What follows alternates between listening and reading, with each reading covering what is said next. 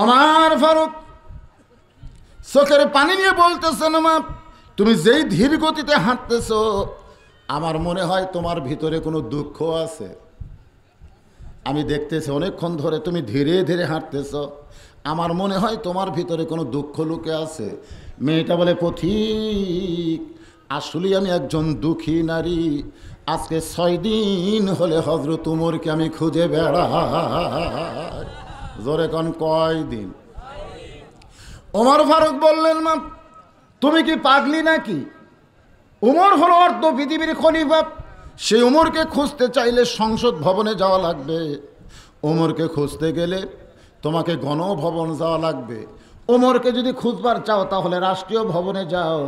এই দুই পাহাড়ের মাঝখানে উমরকে খুঁজতেছ। উমর কি উঁট ডুম্বা নাকি? যে দুই পাহাড়ের মাঝখানে ঘাস খাবার আইছে, আর তুমি তারে খুঁজে খুঁজে পাবা মেয়েটা বলে, পথিক, তুমি জানো না, যেদিন আল্লাহর আইন দিয়ে রাষ্ট্র চলবে, সেদিন নেতা খোঁজা লাগবে না। নেতারাই দুঃখী মানুষকে খুঁজে বেড়াবে।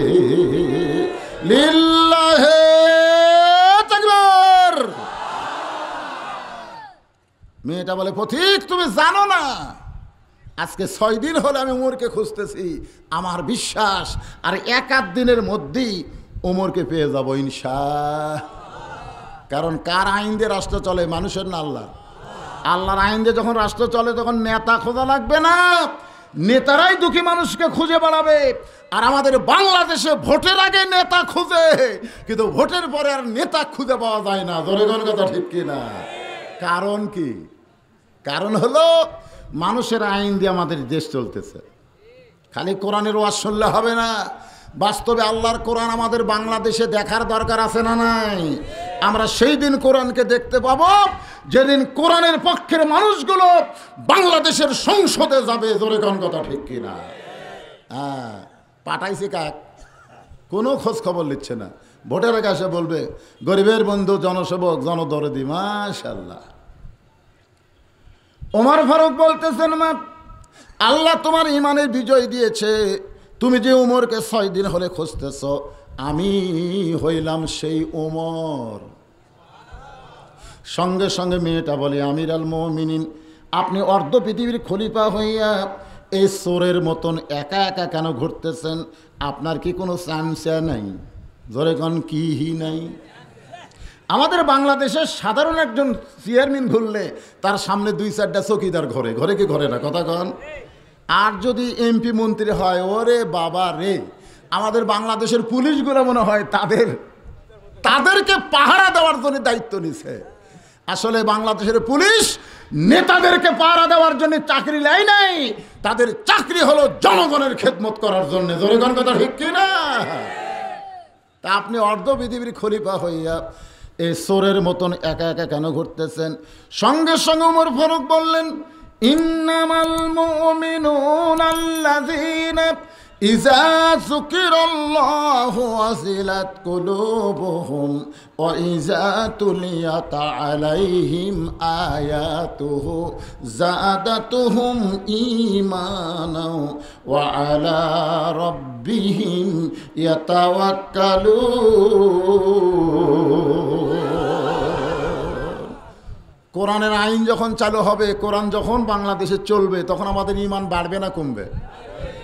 ওমর ফারুক বলতেছেন ও আয়লা রব্বিহিম ইয়াতাওয়াক্কালুন। আমার কোনো চামচা লাগবে না, কারণ চামচা পালার মতন টাকা পয়সা আমার নাই। অর্ধ পৃথিবীর খলিফা, চামচা পালার কি নাই? হায় হায় রে। জুমার দিনে একটা লম্বা জুব্বা গাওয়াত দিয়ে হজরত উমর খুদ্া দিচ্ছেন। মাঝখান থেকে এক সাহাবি দাঁড়ায় বলতেছে আমির আল আপনার খুদ্ আমরা শুনব না। ওমর ফারুক বললেন, আমার দোষ কি? বলে, আমাদেরকে খাটো পাঞ্জাবি দিয়ে আর আপনি লম্বা জুব্বা পরে ক্ষুদ্র দিবেন। অর্ধ পৃথিবীর খলিফাকে আটকে দিছে আটকে দিছে। এই লম্বা জুব্বা কেমনে পাইলেন? যতক্ষণ এর ব্যাখ্যা না দেবেন, ততক্ষণ আপনার ক্ষুদ্র আমরা শুনব না। হজরত উমরের চোখ দর দর করে পানি পড়তেছে। এমন সময় আবদুল্লাহ ইবনু ওমর বাবার সামনে দাঁড়ায় বলে, রে নবীর সাহাবিরা, তোমরা খাটো পাঞ্জাবি হলেও তো নতুন পাঞ্জাবি পরে নামাজ পড়তে এসেছ। আমার পরনে তাকায় দেখো, আমার পরনে কোনো নতুন কাপড় নাই। সমস্ত সাহাবি বলে, আবদুল্লাহ, গতকাল বাইতুল মাল থেকে সবাইকে নতুন কাপড় দিল, কিন্তু তোমার নতুন কাপড় কোথায় গেল? আবদুল্লাহ বলতেছে, আমার বাবার জুব্বার ভিতরে। সোনাল্লাহ কর না কেন? দুনিয়ার সবাই যখন ঘুমায় গেছে, আমার বাবা তখন আমার ঘরের দরজায়, আবদুল্লাহ আবদুল্লাহ বলে ডাকতেছে। আমি দরজা খুলে তাকায় দেখি, বাবা, একটা পাঞ্জাবি নিয়ে দাঁড়ায় আছে। আমি খুশি হয়ে বললাম, বাবা, বাইতুল মাল থেকে আমার একটা পাঞ্জাবি দিল। আপনি গভীর রাত্রে আর একটা দিবার আইছেন ওমর ফারুক বললেন, ইন্নাল্লাহ ইয়ামুরুকুম আন্ত আব্দুল আমানাতি ইলা আহলিহা। ওয়াইদা হাকাম তুম বাইনান নাস আন্তা হাকুম বিল আদল। আমি তোরে পাঞ্জাবি দিবার আসিনি বাজান। এই পাঞ্জাবি আমার ভাগে পড়েছে। আমি গাইদা দেখি এত ছোট। এইটা পরে আগামীকাল খুদবা কেমনে দিব? তোর পাঞ্জাবিটা আমারে দান করে দে বাজান। আমি তোরটা আমারটা মিলে একটু জুব্বা বানাবার চাই। আবদুল্লাহ বলে, আমার বাবার চোখের পানি মুছে দেওয়ার জন্যে আমার পাঞ্জাবিটা দান করে দিলে। বাবা, দুইটা পাঞ্জাবি একত্র করে জুব্বা পরে। এখন তোমাদের সামনে খুদবা দিচ্ছে। এখন বলো খুদবা শোনা যায়। সমস্ত সাহেবরা চিল্লায় বলে, আল্লাহর রাজত্ব যখন দুনিয়াতে চালু হবে, আল্লাহর কোরআন দিয়ে যখন রাষ্ট্র চলবে, তখন এমন নেতাই মুসলমান পেয়ে যাবে। ওমর ফারুক বললেন, মা, তুমি আজকে ছয় দিন হলে আমাকে খুঁজতেছ। তোমার ভিতরে দুঃখ আছে, সেই দুঃখটা কি? মেয়েটা বলতেছে আমির আল মমিনিন, আমার জীবনের সবচাইতে বড় দুঃখ হলো, আমি ছয় বছর বয়সে ইমান গ্রহণ করেছি। আমার জীবনের সবচাইতে বড় দুঃখ হলো, আমি ইমানের কলেমা পড়িনি ইমান গ্রহণ করেছি। আমাদের বাংলাদেশে দুঃখ কার? আমাদের বাংলাদেশের দুঃখ কষ্ট কার? যারা ইমান গ্রহণ করে ইমান অনুযায়ী চলতে চায় তাদের উপরে কষ্ট দেওয়া হচ্ছে জনগণ ঠিক কিনা ভাই? সবার কষ্ট হবে না তো? সবাই কষ্ট পাবে না? মেয়েটা বলতেছে, আমার জীবনের সবচাইতে বড় দুঃখ হলো ছয় বছর বয়স ইমান গ্রহণ করেছি। শুধু ইমান গ্রহণ করার অপরাধে বারো বছর আমাকে জেলখানায় বন্দি জীবন কাটাতে হয়েছে। শুধুমাত্র ইমান গ্রহণ করার অপরাধে বারো বছর। শুধুমাত্র কোনো অপরাধ নাই। চুরি না, ডাকাতি না, ঘুষখোর না। সুদখোর না, একটাই অপরাধ ইমান গ্রহণ। আজকে আমাদের বাংলাদেশে অনেক আলেম ওলামারা জেলের মধ্যে আছে আছে না নাই? আপনারা বলেন তো, তাদের অপরাধ কি? চুরি করছে, ধর্ষণ করছে, মানুষ খুন করছে, হিরোইন বেছে গাঁজা খায়। এ, কথা কর না কেন, কথা কর না কেন? যারা কথা বলতেছেন না, বাম কান্দের ফেরেস্তা কলম খাড়া করে আছে। আল্লাহ কে রে, কি? কলম খাড়া কেন? কয়, আল্লাহ এ তো কথা কয় না, কি লিখব? আল্লাহ বলতেছে, তুই আর বাম কান্দে লেখ, বোবা শয়তান বোবা শয়তান। এই বোবা শয়তানের জন্য স্বৈরাচারী ওদের মাথার উপরে বসে আছে। তোর কথা ঠিক কি না? খালি কথা না বলার জন্য কথা না বলার জন্য। তেলের দাম বাড়তিছে, কথা না বলার জন্য চালের দাম বাড়তিছে, কথা কয় না। আজকে দুর্বমূল্য কমানোর জন্য কুমিল্লাতে পনেরো বিশ জন এক মিছিল বার করছে, একশো জন পুলিশ তাড়া দিছে, পনেরো বিশ জন তাড়া দিছে একশো পুলিশ। ওরা কি নিজের জন্য তাই সামনে রমজান মাস আসতেছে, দ্রব্যমূল্যের দাম একটু কমানোর জন্য মিছিল করতেছে। আরে বাবা রে। পুলিশ ধরে খায় কথা কোষ খান কথা কোষ খান পাতার পিটুল খাবি? তা আপনারা কি পুলিশের ভয়ে কথা বন্ধ করছেন? এখানে রহমতের ফেরস্তা আছে না নাই? ধরে কেন, আছে না নাই? তারপরেও তোমার দুই কান্দে দুই মোহরি, লেখিতেছেন ডায়েরি, দলিল দেখে রাই দিবে টাকা, পয়সার নাই কারবার। সবাই বলেন আসেন আমার মুক্তার আসেন আমার বারিস্টার বলেন আসেন আমার মুক্তার আসেন আমার বারিস্টার শেষ বিচারের হাইকোর্টেতে তিনি আমায় করবেন পার। আমি পাপি, তিনি যাবিন্দার মনের ঘরে তালা দিয়া কিসের ঘরে? মনের ঘরে তালা দিয়া সাবিনী নিয়াছেন সাই আমি অধম সাধ্য কি তার হুকুম ছাড়া বাইরে যাই? হুকুম ছাড়া বাইরে যাই মনুরে সেই দিনের সে স্টেশনে থাকবে নানান প্যাসেঞ্জার। দ্রুত জানে পার হবে সে, টিকিট কাটায় আসে যার। পারা পারে থাকলে তারা সঙ্গে নিয়েও গাড়ি ভাড়া। জবাবদিহি করতে হবে। কি করা লাগবে? জবাবদিহি করতে হবে ধরলে টিকিট কালেক্টার, আমি পাপি, তিনি তাকবীর! মনে করতেছেন, কান্দের ফেরেস্তারা বসে থাকবি? কথা না বললে বাম কান্দের ফেরেস্তা বোবা শয়তান লিখবি। আর কথা বললে ডান কান্দের ফেরেস্তা লিখবে আল্লাহর হিজবুল্লাহ। জোরে কন সুবহানাল্লাহ। মেয়েটা বলতেছে, আমির আল মমিনিন সকালবেলা তিনটা করে চাবুক মারছে বিকালবেলা তিনটা করে চাবুক মারছে। আমার দেহের এমন কোনো জায়গা নাই, চাবুকের আঘাত লাগে নাই। আমি যেই দেশে বন্ধ ছিলাম, এই দেশের নাম হলো রোম দেশ। জোরে বলেন কিহি দেশ? আপনি যখন রোম পারস্য দখল করলেন তখন আপনি ঘোষণা করে দিলেন, মুসলমান কোনো রাষ্ট্র যখন দখল করবে, ওই রাষ্ট্র তখন আল্লাহর কোরআন দিয়ে চলবে। আল্লাহর কোরআন দিয়ে যখন কোনো রাষ্ট্র চলবে, তখন জেলখানার কোনো দরকার? যখন আছে? নাই। জেলখানা কি হয়? মুরগি চুরি করে জেলখানাত গেছে। কি চুরি করে? মুরগি চুরি করে ধরা পড়ে জেলখানাত গেছে। রাত্রেবেলা শোয়ার সময় ডাকাতের সাথে ওর শোয়ার বিছনা হয়েছে। তো এখন ডাকাত বলতে যে কে রে? কি অপরাধ করে জেলখানায়?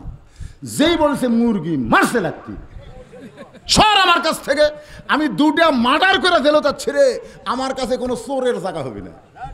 তখন ওর পাও ধরে বলতেছে, দাদা, এবারের মতন মাপ করে দেন, দাদা, এবারের মতন মাপ করেন, খালি বার হই। তারপরে কি হয়ে ঢোকা লাগবে আমার জানা হয়ে গেছে।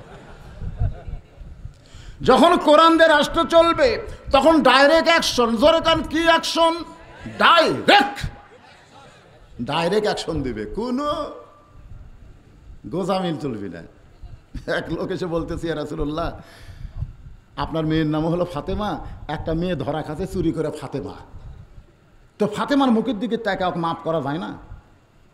আল্লাহ রাসুল বললেন, শোনো, আমার কলিজার টুকরা যদি ফাতেমা চুরি করত, আমি ফাতেমার মুখের দিকে না তাকায়, আল্লাহর আইনের দিকে তাকায় ফাতেমারও হাত কেটে দিতাম।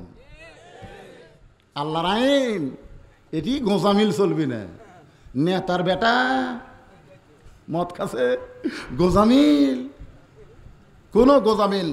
আল্লাহর আইনে চলবে না, জেলখানার দরকার নাই। মেয়েটা বলতেছে, আমির আল মমিনিন রুমের জেলখানার দরজা যখন খুলে দিল তখন আমি যাব কোন জায়গায়? কারণ আমার দাদা খ্রিস্টান, আমার বাবা খ্রিস্টান। আমি যেই দেশে জন্ম নিয়েছি, সেই দেশের সবাই খ্রিস্টান।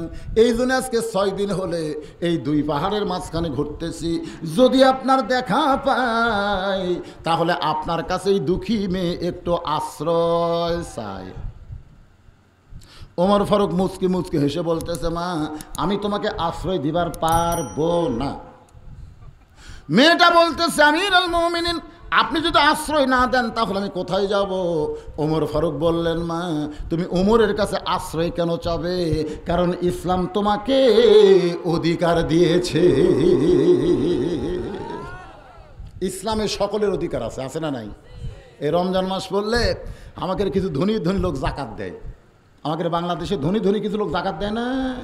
ওই বাড়িতে বসে থাকে, আর গরিবেরা যায় যায় কয়, চাচা জাকাত কবে দিবেন? আজরে! সাতাশে রমজান দিব। সাতাশে রমজান দেখে দিয়ে এক হাজার লোক গেছে। এখন এবার শাড়ি কিনে আনছে, লুঙ্গি কিনে আনছে। এটা দেওয়ার জন্যে মারামারি, পিটাপিটি। গত বছর এক জায়গায় প্রায় সতেরো, আঠারো জন লোক পায়ের তলে পড়ে মরছে। আল্লাহর কোরআন দিয়ে যখন রাষ্ট্র চলবে, তখন কোনো ধনির ঘরে গরিব যাবে না। ধনীরাই গরিবের ঘরে আসতে হবে। জোরে গান কথা ঠিক কিনা? একটা গরিব ও ধনির ঘরে যাবে না। গরিব খালি সিনা টান করে বসে থাকবে। বসে থাকবে আর বলবে, তোর শতকরা আড়াই টাকা আমার রে। তুই যতই টাকা প্রতি হ, তোর আড়াই টাকা আমার। না দেওয়া পর্যন্ত তুই জান্নাতও যার পারবি না। তখন ধনীরা জান্নাতে যাওয়ার জন্যে টাকার ব্যাগলে গরিবের দরজার দরজার ঘুরবে। দরজায় দরজায় ঘুরবে। এক ধনী লোক সাত দিন ঘুরছে, সাত দিন। একটা গরিবও টেকা নেয় না। কই কে রে? আর কত ধনী কয়, আল্লাহ গরিব হয় ভালো আল্লাহ, ধনী হয়তো খুব কষ্ট। সাত দিন ধরে ঘুরতেছি, একটা গরিবও নাই। মনে করছে দেখি মরুভূমির মধ্যে যাই যা দেখে গাছের তলে এক মানুষ বস্তা মাথার দিয়ে ঘুম পাড়তেছে। ব্যাগওয়ালা সালাম দেয়, আসসালামু আলাইকুম। বস্তা বস্তালাকায় আলহামদুলিল্লাহ। ব্যাগওয়ালাকে আপনারা সালাম দিলাম। ও আলাইকুম না বলে আলহামদুলিল্লাহ কেন? বস্তালা বলতেছে, ভাই, পনেরো দিন হলে এক বস্তার টাকা নিয়ে ঘুরতেছি রে। আমি তো গরিব দেখে আল্লাহ শুকুর আদায় করছি। আমি ঘুরি এক ব্যাগ নিয়ে তুমি ঘুরো বস্তা নিয়ে তাহলে গরিব গেল কোন জায়গায়? আস্তাইনু বিশ্বরী অসলা দুইজন নামাজ এবং ধৈর্যের মাধ্যমে জানবার চাই। আল্লাহ বলতেছে সুদ ভিত্তিক অর্থনীতিকে কবর দিয়ে জাকাত ভিত্তিক অর্থনীতি যখন সমাজে চালু হবে, ওই দেশের জন্য আল্লাহ রহমত বরকতের দরজা খুলে দিয়ে সমস্ত গরিবী হটাইয়া দিবে। জোরে সুবহান। আমাদের বাংলাদেশে জাকাত ভিত্তিক অর্থনীতি না শতকরা কত টাকা সুদ হলো? কুন্ডা সুদের যে এক টাকা খায়, নিজের মায়ের সঙ্গে, নিজের মাও রে। ভাবির সাথে করলে তাও হতো, ভাবি। যদি ম্যাডামের সাথে কইতো, তাও হইতো। নিজের মায়ের সঙ্গে ছত্রিশ বার জিনা করার গুণা হয়, এক টাকা। সুদের যে একশো টাকা খায়, ছত্রিশশো বার জিনা করার গুণা হয়। সুদের যে এক হাজার টাকা খায়, ছত্রিশ হাজার বার। পৃথিবীতে এমন কোনো ব্যবসা নাই যে জীবনে ছত্রিশ হাজার বার জিনা করছে। কিন্তু সুদের যে এক হাজার টাকা খাচ্ছে, নিজের মায়ের সাথে এতবার করছে।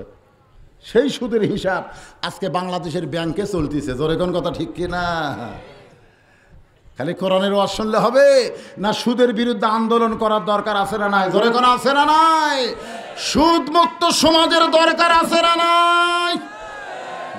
আল্লাহ কোরআনে বলেছেন, আমি ব্যবসাকে হারা, হালাল করেছি আর সুদকে আমি হারাম করে দিয়েছি। ওমর ফারুক বললেন, মা, তুমি ওমরের কাছে আশ্রয় কেন চাইতেছ? ইসলাম তোমাকে অধিকার দিয়েছে। মেয়েটা বলতেছে, আমির আল মমিনিন, ইসলাম কি অধিকার দিলাম একটু জানতে চাই। ওমর ফারুক বললেন, তোমার বয়স কত? মেয়েটা বলতেছে ইমান গ্রহণ করেছি ছয় বছর আর জেল খেলাইছিলাম বারো বছর। হিসাব করলে কত হয়? ওমর ফারুক বললেন, মা, আঠারো বছরের যৌবনা মেয়ের জন্যে ইসলামের এক নম্বর অধিকার হলো ভালো একটা স্বামীর সঙ্গে বিয়ে বসা। ভালো একটা স্বামীর সঙ্গে বিয়ে বসা, ভালো একটা ছেলের সঙ্গে বিয়ে বসা। এই মুহূর্তে একটা ভালো ছেলের সঙ্গে বিয়ে বসা হলো তোমার এক নম্বর অধিকার। কারণ যত কাম থাক, এক নম্বর কাজ হলো তড়ি ঘড়ি বিয়ে করা। তড়ি ঘড়ি মানে বিয়ার বয়স হলেই বিয়ে করা, বিয়ার বয়স হলেই তিনটা কাজে দেরি করা যাবে না ভাই। তিন কাজ। একটা হলো ছেলে মেয়ে যখন বড় হবে, তখন বিয়েতে দেরি করা যাবে না। আমাদের বর্তমান সরকার কইছে ছেলেদের বাইশ, মেয়েদের আঠারো। এটা হলো বয়স। বাল্য বিয়া করা যাবে না। বর্তমান সরকারের আইন, কিন্তু বাল্য প্রেম করা যাবে। হুম।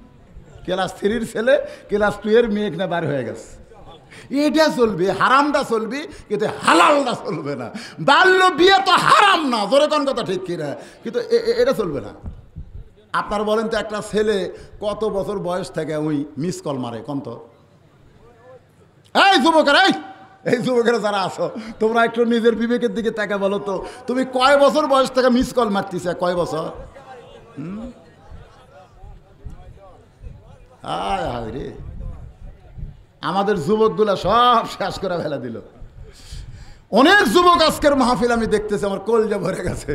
যে এত এইরকম জায়গায় এত যুবক আজকের মাহফিলে মাশাল্লাহ এই যুবকদেরকে জন্য একটু ওয়াজ করার দরকার আছে না নাই? জোরে করে আছে না নাই? কারণ আমরা বুড়ে তো ঠেলাত পড়ে ভালো হব এমনি ভালো হব কিন্তু যুবকেরা তো ঠেলাত পড়ে ভালো হবে না, ওদের খারাপ করার বয়স আছে, জোরে কোন কথা ঠিক কিনা? এক বুড়া গল্প করতেছে, সব যুবক নষ্ট হয়ে গেল। এখনকার যুবকেরা ভালো না। আমি বুড়ার কানে কানে বললাম, দাদা, আপনি যখন যুবক আছিলেন, তখন কেমন ছিলেন? বুড়া কয়, আমি তো খারাপ আসনো ভাই। রে বুড়ে, যৌবন বয়সে তুই খারাপই করছিস, এখন বুড়া হয়ে আল্লাহর অলি হয়েছিস? প্রত্যেকটা বুড়ে যৌবনকালে কিন্তু খুব একটা ভালো ছিল না। কথা কন না কেন, কথা কন না কেন? কারণ এই বয়স তো শয়তানকে দখল করার বয়স। সেই বয়সে যুবকেরা গান বাজনা বাদ দিয়ে আজকে জান্নাতের বাগান এসেছে। এই যুবকদের জন্য প্রাণ খুলে দোয়া করতে হবে। আল্লাহ যেন আগামীকাল থেকে এদেরকে পাঁচ অক্ত নামাজে কবুল করে। জোরে আল্লাহ আমিন। দোয়া করা ছাড়া তো আমাদের কোনো কারণ নাই। আল্লাহর বান্দার একটু মনোযোগ দেন। অমর ফারুক বললেন, মা, এই মুহূর্তে তোমার কোনো অভিভাবক নাই। তোমার ভালো ছেলের খবর কে দিবে? বরং আমি তোমার অভিভাবক হইয়া আমি একটা ভালো ছেলের খবর দিচ্ছি। দেখো তো তোমার পছন্দ হয় কি না মেয়েটা বলতেছে আমির আল মমিনিন। তাহলে বলেন তো আপনার ভালো ছেলেকে। ওমর ফারুক বললেন, ছেলেটার নাম হলো আবদুল্লাহ। যোগ্যতা হলো ছয় লক্ষ হাদিসের হাফেজ। বাবার নাম হলো উমর। লম্বাই হলো ছয় ফুট দুই ইঞ্চি। বয়স হলো মাত্র একুশ বছর। এই ভালো ছেলের সঙ্গে যদি তোমার বিয়ে হয় রে মা, তাহলে তুমি আমার ঘরে বৌমার অধিকার পেয়ে যাবে। জোরে কন কি মা? আরও জোরে। এ, সবাই বলতেছেন না বেটার বউকে আপনারা কি কন? মুরব্বী, বেটা আছে? আছে? আপনার বেটা আছে, ঘুম পাড়তেছি, বেটা আছে? বেটা? আছে? তো বেটার বউক আপনারা কি কন? বেটার বউ কি কন, বাবা? এখন অনেক মুরব্বী বৌমা বলবার পারতেছে না। কারণ বেটা বিয়ে করার পরে মাস দুয়েক ভালো আছিল, মাস দুয়েক। এরপরে আর বউ মানায় বউ এখন দজ্জাল হয়ে গেছে সরকার কথা ঠিক কি না আপনাকে এই গ্রামের নাম হলো কি গ্রাম? হ্যাঁ পার পাঁচুপুর বাপ মা পড়ে আছে। আর ওই বউকলে চলে গেছে নওগাঁ। বেটা এখন নওগাঁ বাসা করছে। বউ লক্ষ্মীটেরি নিয়ে নওগাঁয় থাকে। আর বাপ মা থাকে পাঁচুপুর। একদিন বাবা অসুস্থ হয়ে নওগাঁয় ডাক্তার দেখাবার গেছে। এত ভালো ডাক্তার দেখতে দেখতে সিরিয়াল লম্বা, রাত নয়টা বেজে গেছে। এখন বাবা চিন্তা করে, এ রাত নয়টার সময় পাঁচুপুর কেমনে যায় মন বলতেছে, এখান তোর কি বেটার বাসা নেই? রাত নয়টার সময় বেটার বাসার দরজায় গিয়ে ডাকতেছে, আবদুল্লাহ। ও আবদুল্লাহ, ছেলের নাম হলো আবদুল্লাহ। ছেলের নাম কি? নাম রাখছে ভালো। নাম রাখছে ভালো আবদুল্লাহ। সঙ্গে সঙ্গে আবদুল্লাহ বাসার ভিতর থেকে চিন্তা করে, আমার এলাকার সবাই আমার সাহেব বলে ডাকে, স্যার বলে সম্মান করে। এত রাত্রে আমার নাম ধরে ডাকার মরদ কেড়ে গেট খুলে দেখে বাবা দাঁড়ায় আছে। আবদুল্লাহ হাত ধরে বলে, বাবা, আমি শহরে বাসা করার পরে আপনি তো আসেন না, বাবা। আজকে হঠাৎ কেন আসছেন বাবা বলতেছে, আমার ঠেকা পড়ছে। তুই যে বিয়া করছিস, তোর ওটা বউ করে বিয়া করার পর মাস দিয়ে ভালো ছিলি, তারপরে তোর বাপ মা বাদ দিয়ে তুই এখন বউলে শহরত থাকিস? আবদুল্লাহ মুখথার্থ কয় বাবা বাবা মনের কথা মনের মধ্যে থাকা বাহ বার করেন না, এত বউ ভয় করে। বাবার হাত ধরে রুমে বসাইছে বাবা, সোফার টেবিল বসে, সোফাতে বসে টেবিল সামনে নিয়ে এমন সময় আবদুল্লাহ বলতেছে, বাবা, আপনি একটু ধৈর্য ধরেন। বাবারে, ধৈর্য ধরার কথা বলে আবদুল্লাহ ঘরের মধ্যে গিয়ে দেখে, বউ কম্বল গাওয়ার দিয়ে শুয়ে আছে। আবদুল্লাহ কানে কানে বলতেছে, বাবা, কিন্তু বিপদে পড়ে আমাদের বাসায় এসে। ডাক্তার দেখতে দেখতে নয়টা বাচ্চা বলে বাবা বাড়ির যাওয়ার পারে নাই। এই জন্য আমাদের বাসায় এসে ইচ্ছা করে কিন্তু আসে নাই। বাবাকে একটু সম্মান করে সামনে খাবার দাও। বউ বলতেছে, সকাল থেকে আমার মাথা বেদনা সকাল থেকে। দাঁড়ার মধ্যে শিরশির করতেছে, আমি খাবার দেওয়ার পারব না। আবদুল্লাহর বাবা চিল্লায় বলে, আবদুল্লাহ, আমার অসুস্থ বৌমারে কষ্ট দেশ না বাবা। আমি কিন্তু খাওয়ার জন্য আসি নাই। আমি খালি একটা রাত তোর বাড়িতে থাকবার চাই। আবদুল্লাহ বলে, তাহলে কি খাবেন না বাবা? বলে, আমার পেট ভরা আছে, খাওয়া লাগবে না। রাত নয়টার সময় বাবা না খাইয়া ঘুমায় গেছে। রাত যখন এগারোটা বাজে, এমন সময় আবদুল্লাহর শালা বুলেট। আবদুল্লাহর শালার নাম হলো বুলেট, বইয়ের নাম হলো শেফালি। ধরে কোন, বইয়ের নাম কি? আপনারা খবরদার শেপালি রূপালি, সোনালি, এই শালিদেরকে বিয়ে করবেন না। হুম? আগে খোঁজ নেবেন, মেয়েটার নাম কি? যদি হয় দুলালি শেপালি রূপালি, সোনালি, বিয়া বাতিল। কারণ নাম যেমন, তার চরিত্রও তেমন হবে। আল্লাহ রাসুল বলেছেন হাসরের ময়দানে, আল্লাহ ডাক দেবেন, মরিয়ম! সঙ্গে সঙ্গে হাজার হাজার মেয়ে মানুষ দাঁড়িয়ে যাবে। আল্লাহ বলতেছে, আমি ঈশার মা মরিয়মকে ডাকলাম, তোমরা দাঁড়াইছো কেন? মেয়েরা বলবে, আল্লাহ, আপনি ভুল করতে পারেন। তাই বলে, আমরা ভুল করব? আল্লাহকে আমি কি ভুল করলাম? মেয়েরা বলবে, আপনি ঈশার মা মরিয়ম বলে ডাকবেন, আপনি মরিয়মকে ডাকছেন। এখন আমাকে নাম দে মরিয়ম। তা আমরা কি করব? আল্লাহ কাছে যা। মরিয়মের সঙ্গে যখন নামের মিল পড়ছে, মরিয়মের সাথে জান্নাত চলে যা। জোরে সোহান এই জন্য নামটা ভালো দেখে বিয়ে করো রে যুবকেরা তারা এখনও বিয়ে করনি, খবরদার। শালা ডাকতেছে, এগারোর সময় শেফালি আপা বিড়াল যেমন ইন্দু ধরার জন্য লাভ মারে আবদুল্লার বউ তেমনি কম্বল ফেলা দিয়ে মারছে লাভ। আবদুল্লাহ তাকায় দেখে, কম্বল আছে, বউ নাই। বউটা গেল কোন জায়গায়? গেট খুলে বলতে যে ভাই যান এত রাত্রে থেকে বলে, ক্রামবোর্ড খেলতে খেলতে রাত হয়ে গেছে। আমি একটু ঘুমাবার চাই। বোন বলতে যে পাগল হইছো। তুমি আমার কলিজার টুকরা ভাই, তুমি না খাইয়া ঘুমাইলে আমার চোখে ঘুম ধরবে না। ডাইনিং টেবিলের চেয়ারে বসাইয়া মাছ গরম, গোস্ত গরম, ভাত গরম, সব গরম করে ভাইয়ের সামনে দিয়া বলে, খাও ভাই খাও ভাই, তুমি না খাইলে আমার কলিজার শান্তি নাই। আবদুল্লাহ ঘরের মধ্যে দিকে চিন্তা করে, নয়টার সময় আমার বাবা আইছে, তোর তখন মাজা বেদনা পিঠ শিরশির করে। আর এগারোটার সময় খাভাই খাভাই খবর কি? বার হয়ে দেখে পাঁচ তরকারি গরম ভাত শালার মাথায় বইয়ের হাত। কয় তরকারি? পাঁচ তরকারি গরম ভাত, ওই শালার মাথায় ওর বইয়ের হাত, আর এক টুকরা খাওয়াই আবদুল্লাহ, আস্তে আস্তে, বাবা সেই ঘরে ঘুমাই, ওই ঘরের জানলার কাছে গিয়ে দেখে জিরো বাল্বে বাবার শুকনা মুখটা দেখতে পাই। চোখের পানি বের হচ্ছে আল্লাহর কোরআন বলে, ওয়াকাজা রব্বু কাল্লা তাবুদু ইল্লা ইয়া হুয়া বিল ওয়ালিদাইনি হাসানান। রে আব্দুল্লাহ রে, আল্লাহর পরই হলো বাপ মা। যেই বাবা না খাইয়া তোরে লেখাপড়া করাইছে, যেই বাবা মাটির বিছনাই থেকে তোরে খাট বানায় দিয়েছে আজকে তুই এত বড় চাকরি করিস, তোর বাবা খায়নি রে, তোর জন্য সব টাকা খরচ করেছে, আজকে সেই বাবা তোর না খায় ঘুম পাড়তেছে, তোর শালার সামনে পাঁচ তরকারি গরম ভাত, এখন বলরে আবদুল্লাহ, তোর আমল কি? লিয়া বলুয়াকুম আইয়কুম আহাসানু আমালা, আমি আল্লাহ তোকে সুন্দর আমলের পরীক্ষা করব।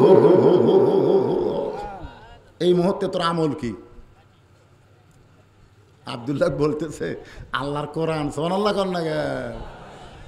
আবদুল্লাহ চোখ বন্ধ করে চিন্তা করে, কি করব? নারী নির্যাতনের বিচার আছে, এমন একটা দেশে আমরা জন্মেছি ভাই। মরদ মানুষ নির্যাতনের কোনো বিচার নেই, জোরে কোন কথা ঠিক কিনা এই দেশে খালি নারী নির্যাতনের বিচার। আমি খোঁজলে দেখছি একটা বাড়িতেও পুরুষ মানুষ নারী নির্যাতন করে না, বরং প্রত্যেক বাড়িতে নারীরাই পুরুষকে নির্যাতন করে। ধরে কোন কথা ঠিক কিনা? আমি খুঁজলে দেখছি তো। আমার বউ খালি আমার কানের কাছে ফিসফিস করে, তোমার বাবা ভালো না। কিংবা কয়, তোমার মা ভালো না, তোমার মা ভালো না। দেখেন, আমার বউ, আবার আমার মা আমার বাবার কান গরম করে দেয়, তোমার বেটার বউ ভালো না। আমি দেখলাম আমার বাপেরও দোষ নাই, আমারও দোষ নাই। দোষ হলো আমার মায়ের আর আমার বইয়ের। এই মেয়ে মেয়ে, খুঁজলে দেখেন আমার বাপের হাতে আমার মা মা আমার বাপকে নির্যাতন করতেছে আর আমার বউ আমাকে করতেছে। আপনাকেও কোথায় অথচ কোনো বিচার? আবদুল্লাহ চিন্তা করে, নারী নির্যাতনের বিচার আছে, কি করব। এমন সময় আবদুল্লাহ চোখ বন্ধ করে দেখতে পাই উটি বলা একটা বেলান আছে উটি বলা। এই যে উটি বলে না এই উটি বলা একটা বেলান। আবদুল্লাহ চিন্তা করে কি করব? বিবেক বলতেছে পিছন দিকে তাকায় দেখ। সব জায়গায় মারবি না। এমন জায়গায় মারবি যেইটা কোনোদিন কাউরে দেখাবার পারবে না। পিছন দিকে তাকায় দেখ উঁচু হয়ে আছে। ওই উঁচু জায়গায় বিসমিল্লা বলে একটা বাড়ি মারবি, একটা হজের সব পাবি। দুইটা বাড়ি মারবি, দুইটা হজের সব পাবি। যে কয়টা বাড়ি, সেই কয়টা হজের সব জোরে কোন বিড়াল যেমন ইন্দুর ধরে, আবদুল্লাহ চুপি চুপি বইয়ের কাছে এই বেলান লুকে নিয়ে দাঁড়ায় আছে। বউ খালি ভাইকে বলতেছে, আর একটু ওরা খা ভাই ভাই জোরহাত করে বলতে আপা, আর পারতেছি না। তোর কাছ বাড়িতে আসলে তুই খালি আমাকে জোর করে খাওয়াস। আবদুল্লাহ কয়, আমার বাবা না খায় ঘুম পারতেছে তোর ভাই খাবার চাই না, তারপরে জোর করে খাওয়াস। এই বলে বিসমিল্লা কয়ে মারছে বাড়ি। যেই বাড়ি মারছে আবদুল্লাহ দৌড়, শালাও দৌড়, বউ দৌড়। শালা বউ দুই দিকে দুইজন দৌড় মারছে। শালা চিল্লাই বলে দুলা ভাই আমার বোনকে মারলেন কেন? আবদুল্লাহ কয়, তোর বোনকে কেন মারলাম? আ একটা বার দেখে যা। বলে, আমারেও মারবেন নাকি? বলে, তোরে মারবো না, তোর একটু দেখাবার চাই। বাবা যেই ঘরে ঘুমায়, সেই ঘরে জানলার কাছে বলতে তাকায়, দেখ। বলে, আপনার বাবা কখন আইছে? বলে, নয়টার সময় আইছে। তোর বোন কইলো, মাজা বেদনা পিঠ শিরশির করে। আমার বাবার সামনে খাবার দেয়নি রে। আমার বাবা না খাইয়া ঘুম পারতেছে তুই খাবার চাস না, তারপরেও জোর করে খাওয়ায়। এগারোটার সময় পাঁচ তরকারি, গরম ভাত। বললে, শালা বল। আমার আমল কি? লিয়াবলুয়াকুম আইয়ুকুম আহসানু আমালা। যে সুন্দর আমলের পরীক্ষা আমার আল্লাহ করতেছে। এখন বল সবচাইতে সুন্দর আমল কি? শালা বলতেছে, আর একটা মারেন, আর একটা মারেন। ই মানুষের জাত না, ই বাপের আত্মীয় পছন্দ করে, কিন্তু শ্বশুর আত্মীয় দুই চোখকে দেখবার পারে না। এইরকম বউ আছে না নাই? এরা কিন্তু বউ মানা এরা হলো বউ দাজ্জাল। উমর ফারুক বলতেছেন, মা, আমার ঘরে তোমার অধিকার হবে। আল্লাহ তোমাকে আমার বৌমার অধিকার দিবে। মেয়েটা মুসকি মুসকি হাসে। ওমর ফারুক বলে, হাসতে তো কেন? মেয়েটা বলে, হাসার কারণ হলো, আপনি যেই ছেলের খবর দিলেন, ওই ছেলেই কি দুনিয়ার মধ্যে সব চাইতে ভালো? ওমর ফারুক বলে, মা, আমার আবদুল্লার চাইতে ভালো ছেলে তো আমার চোখে পড়ে না। মেয়েটা বলতেছে, তাহলে আমি একটা ছেলের খবর দেই। আপনি চিন্তা করে বলবেন, আপনার আবদুল্লাহ ভালো না সেই ছেলে ভালো? ওমর ফারুক চমকিকে বলে, মা, তোমার কাছে কোনো ছেলের খবর আছে নাকি? মেয়েটা বলতে, দেখেন তো, আগে নামটা শুনে ছেলেটা কেমন লাগে? ওমর ফারুক বলে, মা, ছেলেটার নাম বলো। মেয়েটা বলতে, ছেলেটার নাম হলো হোসাইন, মায়ের নাম হলো ফাতেমা, বাবার নাম হলো হজরত আলী, আর নানার নাম হলো মোহাম্মদুর এখন বলেন, এই দুই ছেলের মধ্যে ভালো ছেলে কোনটা? না না, আপনা করুক না। মেয়েটা হজরত বলতেছে, আপনি বললেন আঠারো বছরের যৌবনা মেয়েকে এক নম্বর অধিকার হলো ভালো একটা ছেলের সঙ্গে বিয়া বসা।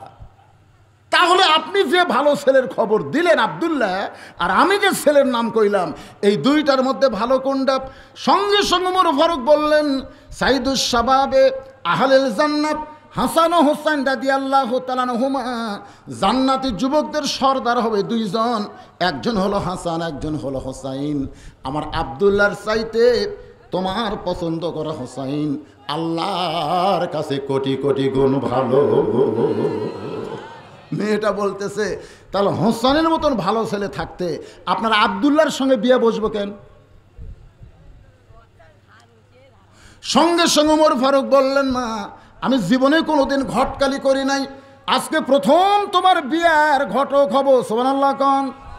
মেয়েটাকে নিরাপদ আশ্রয় দিয়া হজরত উমর ফারুক পরন্ত বিকাল বেলায় হজরত আলীর বাড়ির দরজায়, আসসালামু আলাইকুম ইয়াহলাল বাইত, আম্মা সা ইলা ফালা তানহার। এ কোরআন শরীফে একটা আয়াত আছে, ফকিরের আয়াত। যেরকম কিসের আয়াত? আম্মা সা ইলা ফালা তানহার। হজরত আলী সোমকে গেল যে সালাম যে দিয়েছে উমর ফারুকের মতন কণ্ঠ শোনা যায়, কিন্তু ফকিরের আয়াত কেন?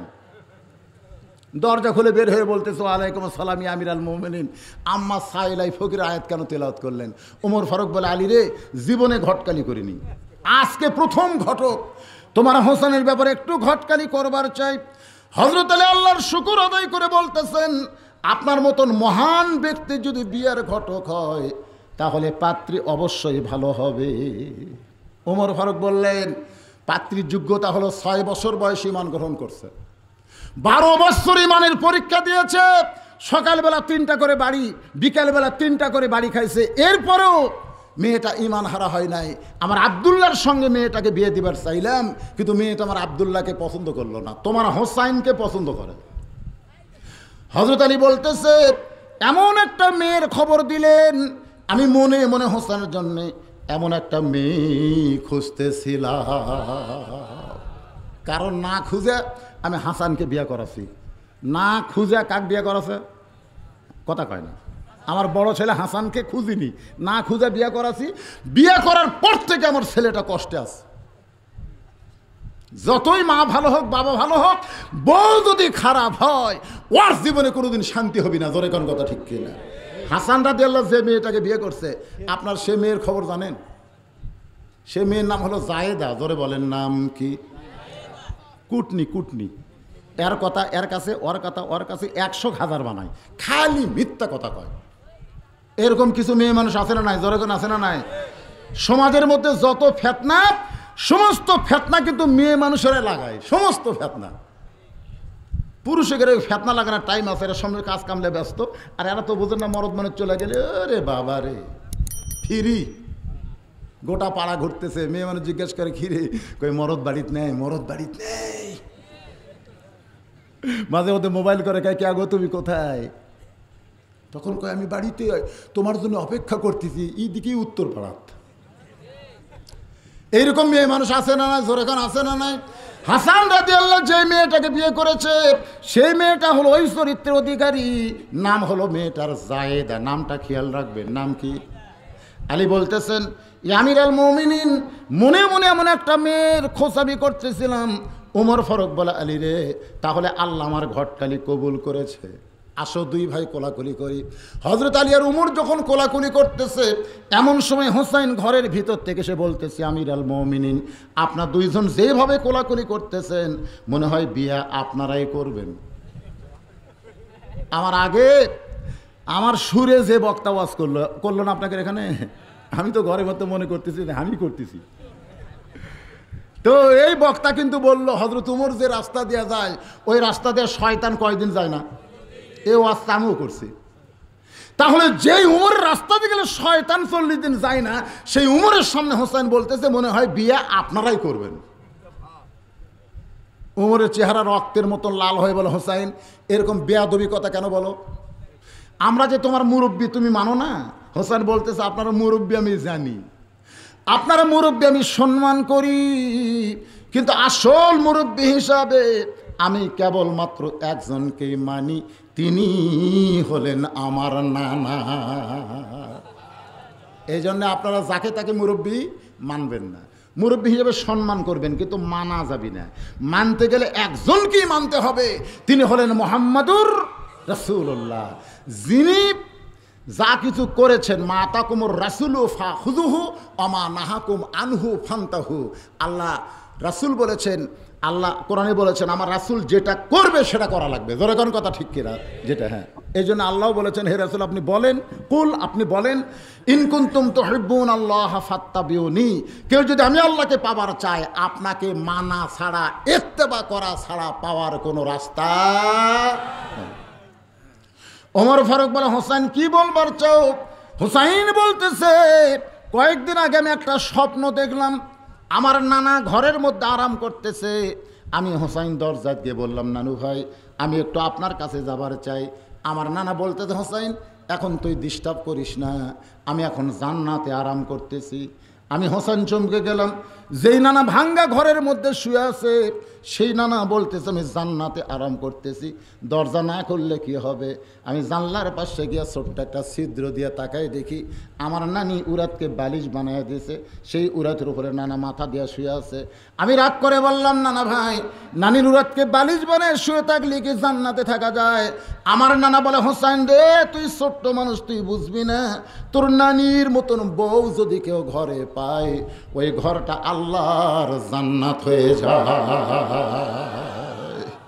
আমি সেই দিনই সিদ্ধান্ত নিয়েছি, নানির মতন বউ যেই ঘরের মধ্যে থাকে, সেই ঘরটা আল্লাহর জান্নাত হয়ে যায়। তাহলে বিয়া যদি করাই লাগে, আমার নানা যেমন বিয়ে করছে, সেই রকম একটা বিয়ে করব। এ দশটা, বিশটা বিয়ে করা যাবে না। তো করলে একটাই কর্ম কিন্তু দেখে শোনা কর্ম ধরে কন সোহান আল্লাহ হজ আলীর সামনে গিয়ে হোসেন বলতেছে, বাবা, আপনি সত্যি করে বলবেন আমার মা আপনার কেমন বউ? আপনি সত্যি করে বলেন।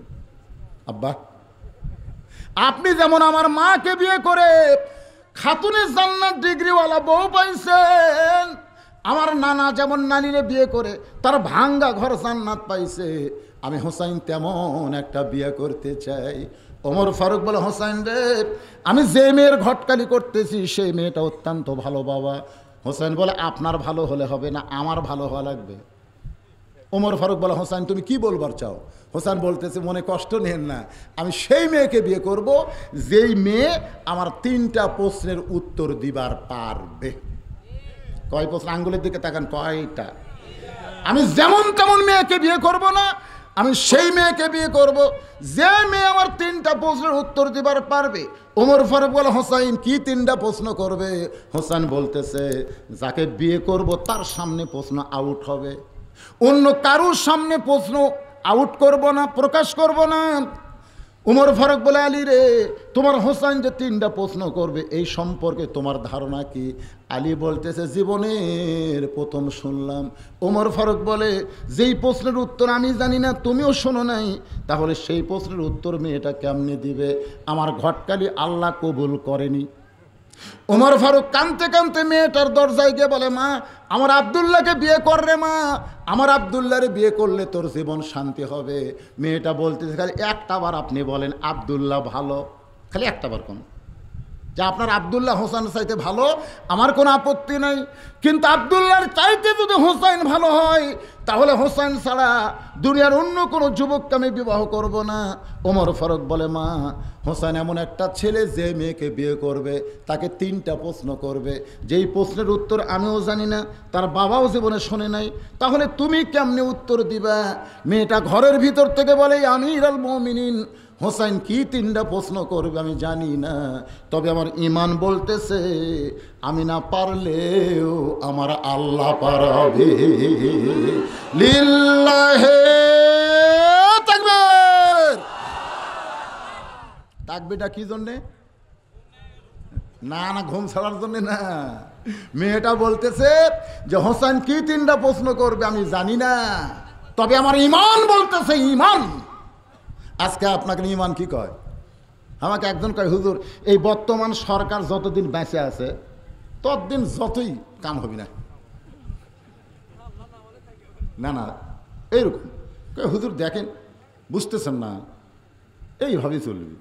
আমি খেলাম পাগলা, রাত নয়টার সময় ছয় তালাত। রাত নয়টার সময় কয় তালাত? ছয় তালাত, দেড় লাখ টাকার খাট আর বারো হাজার টাকার কম্বল। উড়ে তামনে দিয়ে বলতেছে, আমার বাড়ি, আমার ঘর, আমার নামাইকে। সেই মশার নিয়ে কইছে, নয়টার সময়, আমার বাড়ি, আমার ঘর আমার নামাইকে। রাত তিনটার সময় একটা ভূমিকম্প। কয়টার সময়? ওই এত ফোর্সে নামছে যে কম্বলের মধ্যে লঙ্গি পর্যন্ত খুলে আছে, ওটা পরারও টাইম পায়নি।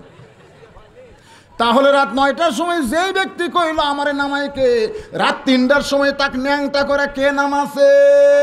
আরও জোরে, জোরসে বলুন। তো ইজ্জুমান তাসা পড়েন, তো ইজ্জুমান তাসা অতুজিল্লুমান তাসা বিয়াদিকাল খাইর, ইন্নাকা আলা কুল্লি শাইন কদির। সম্মান দেয়া ছয়তালা তোলার মালিককে আবার অহমান করে ন্যাংটা করে নামানোর মালিককে আপনারা বলেন, সে আল্লাহ আছে না নাই? করে করে আছে না নাই? তো তাহলে কেমনে কন? মানে আমাকে ইমান এত দুর্বল হয়ে গেছে, ভাই। হায় রে। মেয়েটা বলতেছে যে, হোসেন, কি তিনটা প্রশ্ন করবে আমি জানি না, তবে আমার ইমান বলতেছে, আমি না পারলেও আমার আল্লাহ পারাবে। সঙ্গে সঙ্গে হজরত তোমার মারছে দৌড়। এক দৌড়ে হজরত আলীর দরজায় সোহান আল্লাহ কন। এই মাত্র গেছে কানতে কানতে, আবার এই মাত্র হাসতে হাসতে দৌড়াইছে। আলী বলতেছে আমির আল আপনি তো এখনই মন ভার করে গেলেন, আবার কেন হাসতে হাসতে আইছেন? বলে, তারিখ করব। হোসেন বলে, কিসের তারিখ? উমর ফারুক বলে, তোমার বিয়ার তারিখ না? তুমি যে তিনটা প্রশ্ন করবা, মেয়েটা উত্তর দিবার পারবে কি পারবে না, তার যাচাইয়ের তারিখ। আলী বলতেছে আমির আল মৌমিনিন, যেই প্রশ্ন আপনি জানেন না, যেই প্রশ্ন আমিও জানি না, সেই প্রশ্নের উত্তর মেয়েটা কেমনে দিবে? ওমর ফারুক বলে, আলী রে, ইমানের বলে কেউ যখন বলিয়ান হবে, তখন বিশ্বাস করা লাগবে। সে একলা নাই রে আলী, তার সঙ্গে আমার আল্লাহ রয়েছে। ইমানের বলে যদি আমরা বলিয়ান হতে পারি, তাহলে আমরা একলা থাকব না আমাদের সঙ্গে কে আছে? আরও জোরে। আল্লাহ যাদের সঙ্গে থাকবে, তাদের সঙ্গে কেউ পারবে। তাহলে সেই ইমানের বলে বলিয়ান হওয়ার দরকার আছে না নাই? আমরা কারা কারা ইমানের বলে বলিয়ান হতে চাই? একটু দুই হাত তুলে আল্লাহরে দেখান। লিল্লাহে থাকবে মুরব্বী হাত তুলবার পারেনি মানে ঘুমোতেছে নাকি আসলে আমি আস্তার জড়ে গেছি, এই এনার ছেলে এনার ছেলে, আবার তার ছেলে, এই তিনজনে আমি টেজর দেখছি। মোর বেশি বলতে হুজুর, ইনি আমার বাপ। তাকে দেখি, ওনার ছেলে, সব কয়টাই? হায় হায় হায়। এখনও যা সাইজ দেখতেছি, কমপক্ষে বিশ বছর থাকবেন আপনি, কমপক্ষে। ঘুম ধরতে গে এ আপনাকে ঘুম ধরতেছে নাকি? না, তিনটা না চারটা তাথ না। মানে ঘুম ধরতেছে সেটা বলতেছে আমি।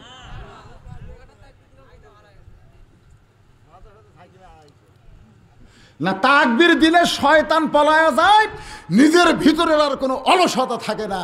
এই জন্য একত্র হয়ে তাকবির দিলে চারিদিক থেকে পুলিশ দৌড়ে আসে, জোরে কোন কথা ঠিক কিনা? আগামীকালে দশজন, আগামীকাল দশজন আত্রায় থানার কাছে দেখেন তকবির দিবেন। দেখেন কি হয়। কিন্তু ভিন্ন ভিন্ন যদি মজ্জিন গোটা বাংলাদেশে আদান দেয়, একটা পুলিশও কিছু কবি না, কিন্তু একটি হলেই বিপদ। কারণ এরা চাচ্ছে মুসলমান যেন একত্র হবার না পারে ধরে কোন কথা ঠিক কিনা? কিন্তু এই জায়গার তো আমরা একত্র হয়ে গেছি ভাই। একত্র হওয়ার দরকার আছে না নাই?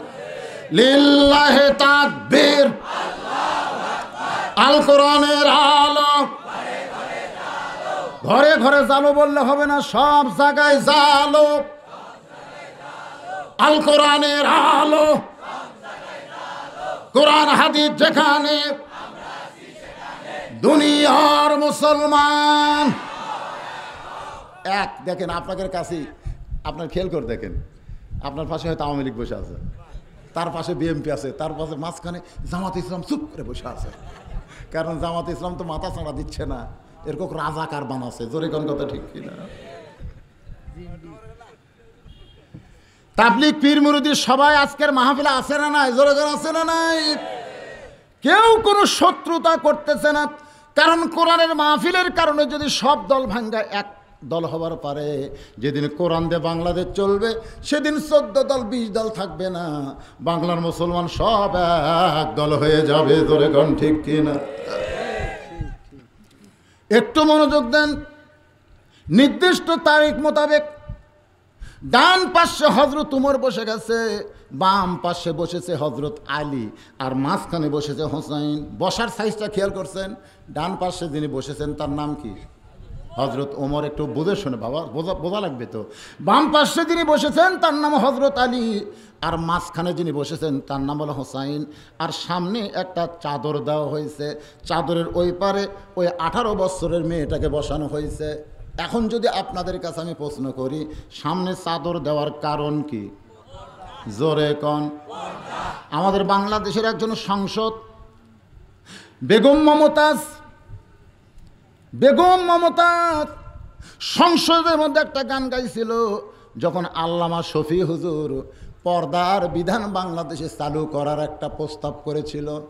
ওই সময় মমতাজ বেগম একটা গান গাইছিল, সেই গানটা হলো, ওরে শরীয়তের মৌলানা, চোখ দুইটা করলা কানা, মনের পর্দা বড় পর্দা তোমরা খুঁজা পাইলা না, তেতুল হুজুর বুঝলো না। আল্লামা শফিকে তেতুল হুজুর বানাচ্ছে ধরে কোন, কি হুজুর? সামান্য দুই টাকার একটা গায়িকা। লক্ষ লক্ষ আলেমের ওস্তাদ আল্লাহর অলিপ আল্লামা শফিকে তেতুল হুজুর কইছে, তেতুল হুজুর। আর বলছে, শরীয়তের মৌলানা আমাদেরকে বলেছে, চোখ দুইটা করলা কানা, মনের পর্দা বড় পর্দা তোমরা খুঁজা পাইলা না।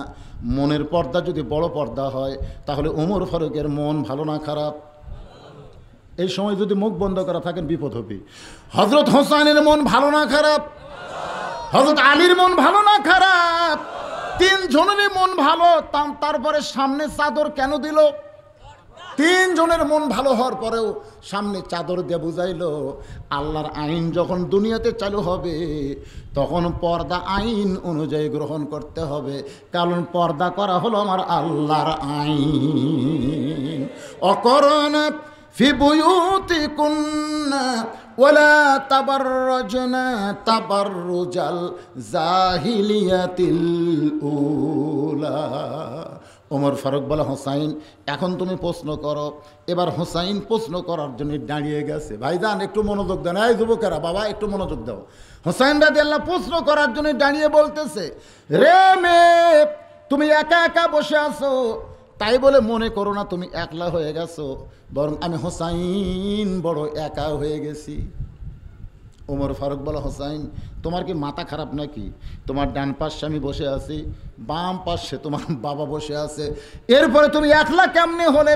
হোসেন বলে রে মেয়ে, আমার দুই পাশে দুইজন মহামানব দেহ নিয়ে বসে আছে। কিন্তু মনে মনে তোমার পক্ষ নিয়েছে। আপনারা বলেন তো ওমর ফারুক কার পক্ষে? হজরত আলী কার পক্ষে? নির্বাচন কমিশনের নিরপেক্ষ। বর্তমান সরকারের আছে না নাই? সবাই বলে নির্বাচন কমিশনের নিরপেক্ষ আসনে বসে আছে। কিন্তু মনে মনে একটা দলের পক্ষ নিয়েছে, দিনের ভোর রাতে করতেছে। আমি এখান থেকে বুঝতে পারছি, নিরপেক্ষ বলে কোনো কথা নাই। আসলে ভুয়া কথা। স্বয়ং আমার আল্লাহ নিরপেক্ষ নয়। আপনার কোন তো আল্লাহ কি নিরপেক্ষ? এ কতক্ষণ আল্লাহ কি নিরপেক্ষ? আল্লাহ যদি নিরপেক্ষ হতো, তাহলে কোরআনের এ আয়াত কেন নাজিল করলেন? অমাইয়াবতাগি গয়ের আল ইসলামা দিন আন ফালাইন ইকবালা মিনহু। ইসলাম ছাড়া অন্য কোনো ধর্ম যদি কেউ গ্রহণ করে, আল্লাহ বলতেছে সেটা কবুল করা হবে না। তার মানে বোঝা গেল আল্লাহ নিরপেক্ষ না। আল্লাহ ইসলামের পক্ষে ধরে কোন কথা ঠিক কি না নিরপেক্ষ একজন অবশ্য পাওয়া গেছে পঞ্চাশ বছর পর। পঞ্চাশ বছর পরে এই বছর বাংলাদেশে একটা নিরপেক্ষ মানুষ চেয়ারম্যান হচ্ছে। নিরপেক্ষ নাম কি করলেন? আরও জোরে। জোরসে বলুন। তাহলে যারা বলবে আমরা নিরপেক্ষ, তারা কি? কর না কেন? তারা কি? এক হিজড়া ছাড়া কারণ হিজড়া পুরুষেরও পক্ষে না নারীরও পক্ষে না ই হলো নিরপেক্ষ, ধরে কোন কথা ঠিক কিনা। এ ছাড়া ভাই, নিরপেক্ষ বলে কেউ নেই।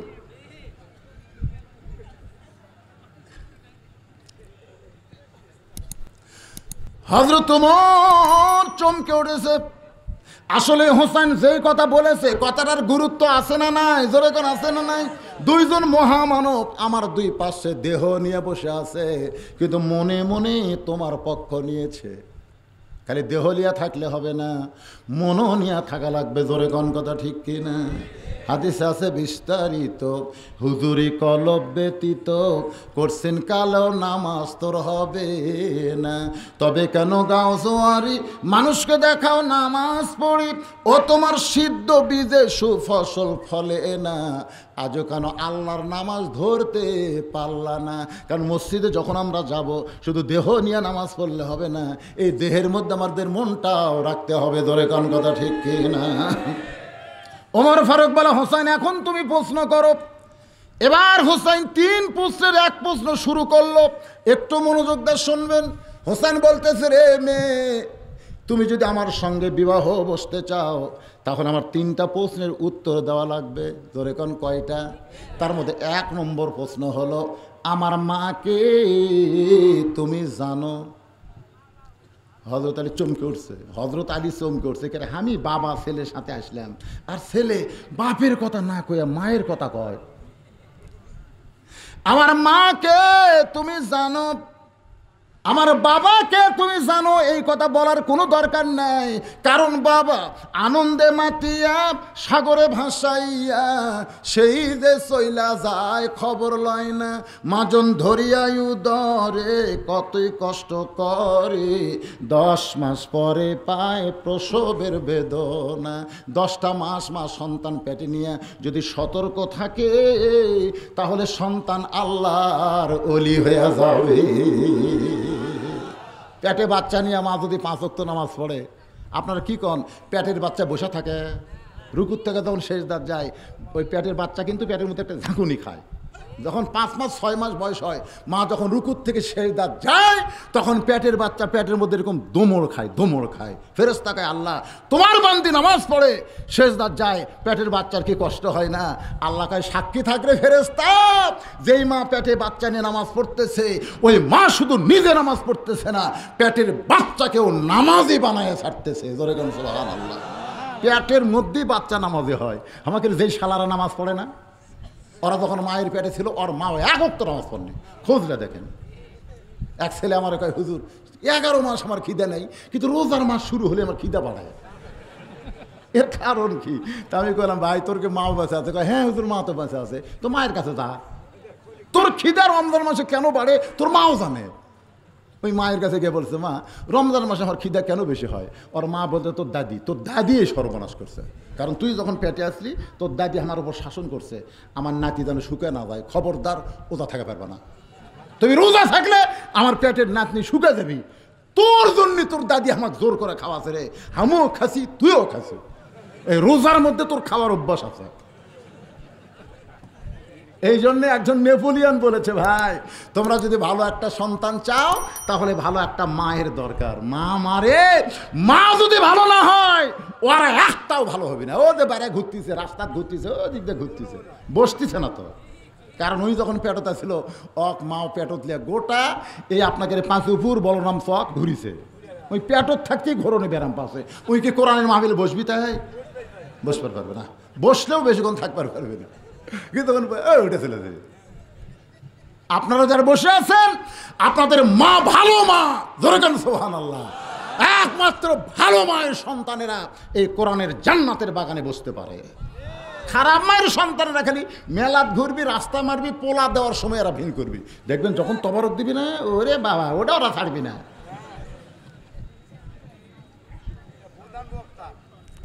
কয়টা বাজলো রে? না না বেশি নেই। এগারোটা না, কে বলল? এগারোটা চল্লিশ। কে বল? ওয়াজ তো এখনও শুরু হয় না একটু মনোযোগ দেন। এক নম্বর প্রশ্ন হলো, আমার মাকে জানো, আমি কোন মায়ের সন্তান, কোন মায়ের পেটে আমি ছিলাম আমার মা সম্পর্কে কি তোমার জানা আছে? এটাই হলো আমার এক নম্বর প্রশ্ন। মেয়েটা কিছুক্ষণ পরে বলতে, হোসাইন, আপনার মাকে আমি চিনি। আপনার সোবান আল্লাহ করলেন কিন্তু হজরত উমর জিবাত কামড় খাইছে হজরত হজরত আলীর চোখ দিয়ে দর দর করে পানি পড়তেছে। আর মাঝখানে হোসাইন খালি মুসকি মুসকি হাসতেছে। ডান পাশে যিনি বসে আছেন, তিনি জিব্বাই কামল খাইছে। জিব্বাই কামল খাওয়ার কারণ হলো হোসান মা রে, তুই কেমনি চিনবি? হোসাইন মা তো চিনার জিনিস না। হোসেনের মা হলো জানার জিনিস সোমান আল্লাহ কোন? হোসেনের মা তো চেনার জিনিস না।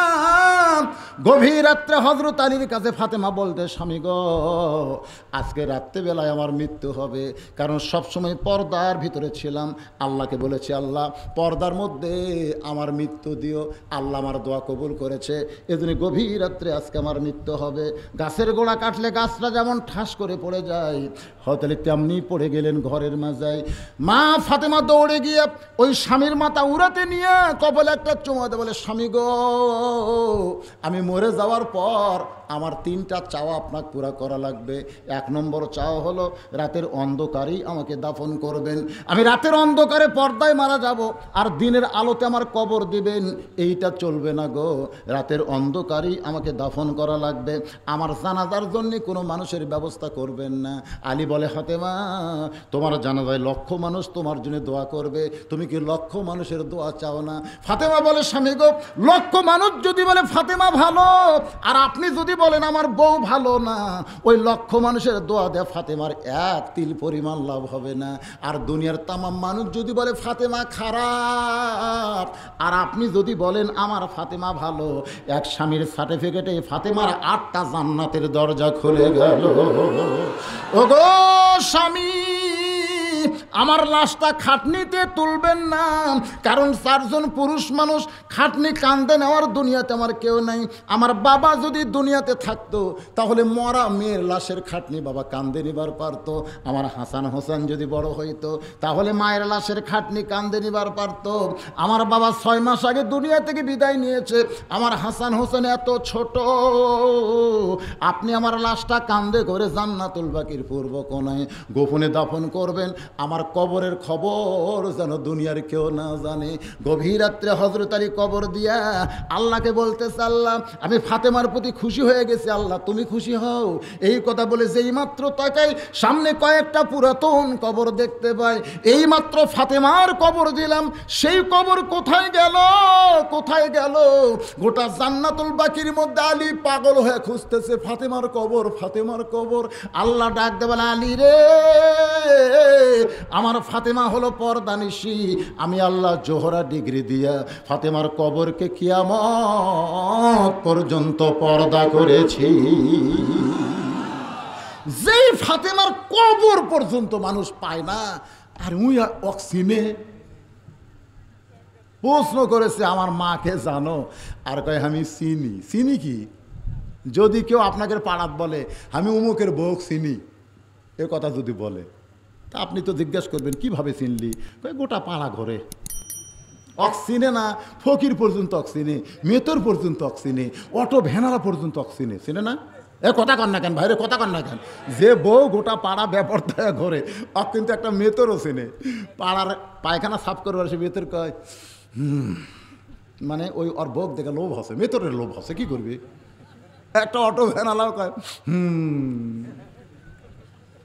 যারা ব্যাপারটা বউলে আছে, এরকে বউ কিন্তু সবাই। সবাই যদি চিনে, তাহলে কি হলো? ওই বউ জান্নাত যাবে না, ওই বউয়ের স্বামীকেও বউ ছাড়বে না।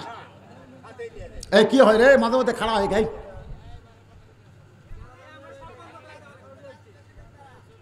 কি কথা বাবা, রাত বারোটা বাজতেছে, আর এরকে চেহারা কি খালি টক টক করতেছে।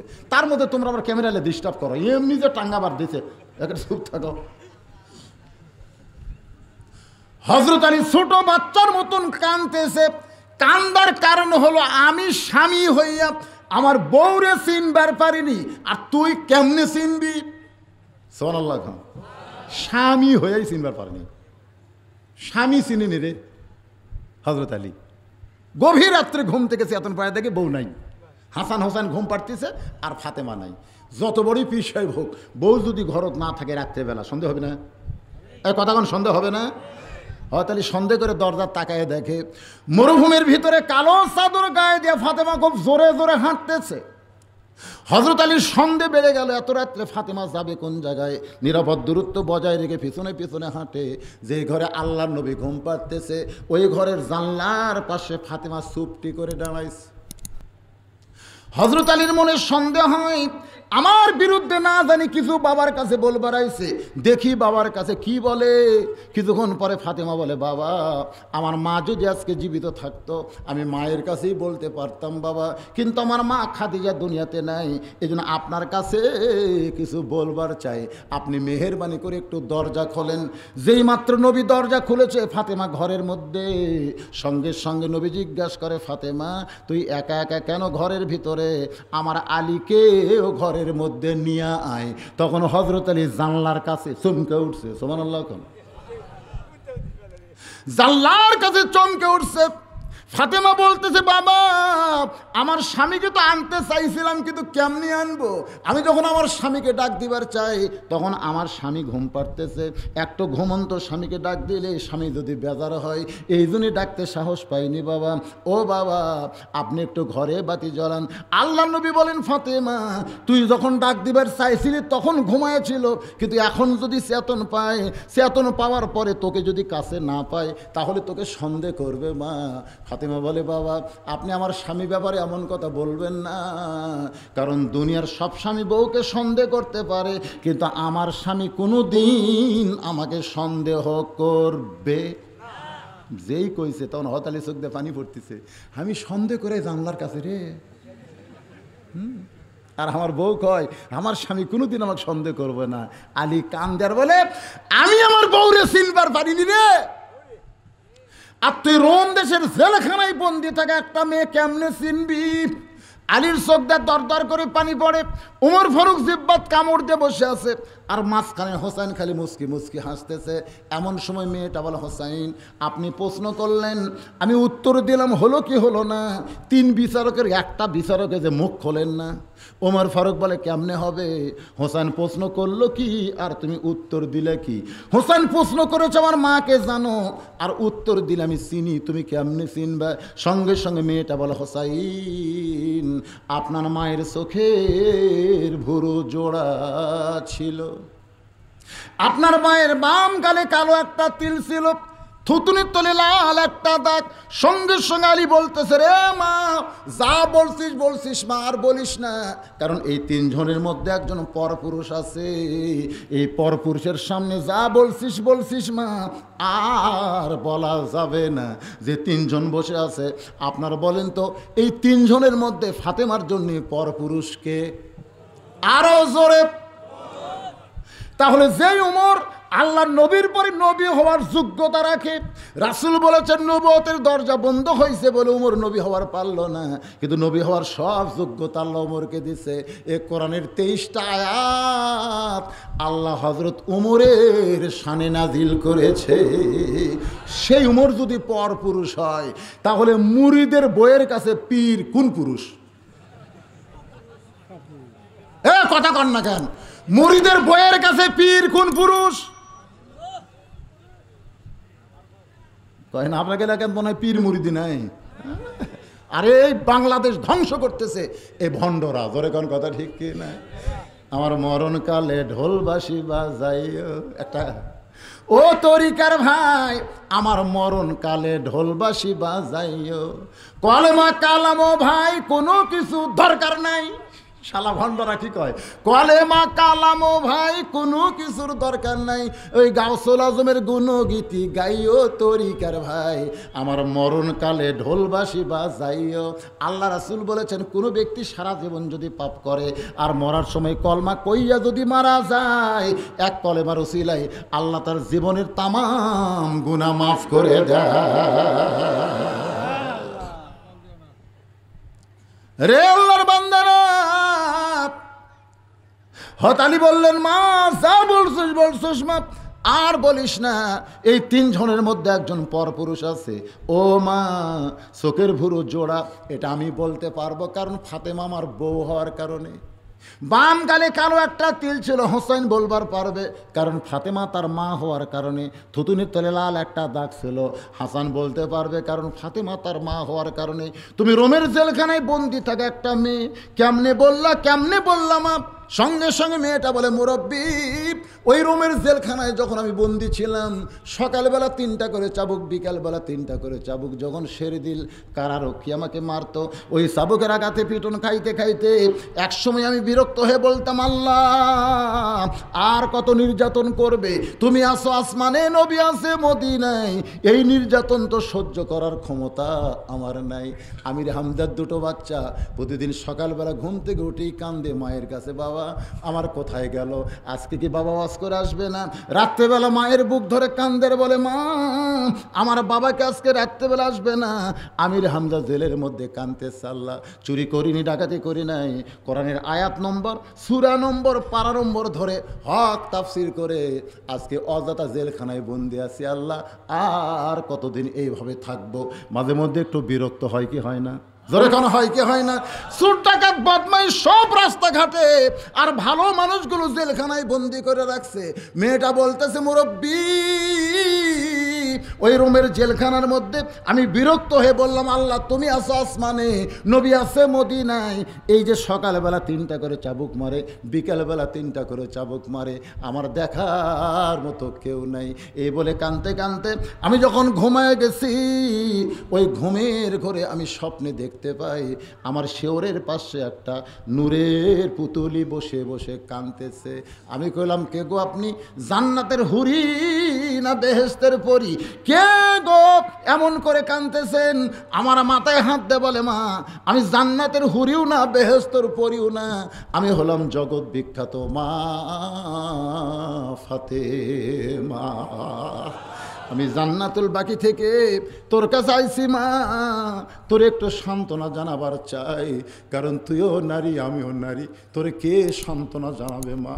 আমি তখন তাকায় দেখি, তার চোখের ভুরু আমি জোড়া দেখতে পাই। তার বাম গালে কালো একটা তিল দেখেছি, থুতুনির তলে লাল একটা দাগ দেখতে পাই।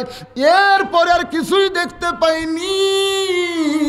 এই জন্যে বলেছে আপনার মারে আমি চিনি। সঙ্গে সঙ্গে হোসেন বলে, রে মেয়ে, এক নম্বর প্রশ্নের উত্তর যেমন আশা করেছিলাম, তার চাইতে একশো গুণ তুমি সুন্দর দিয়েছ।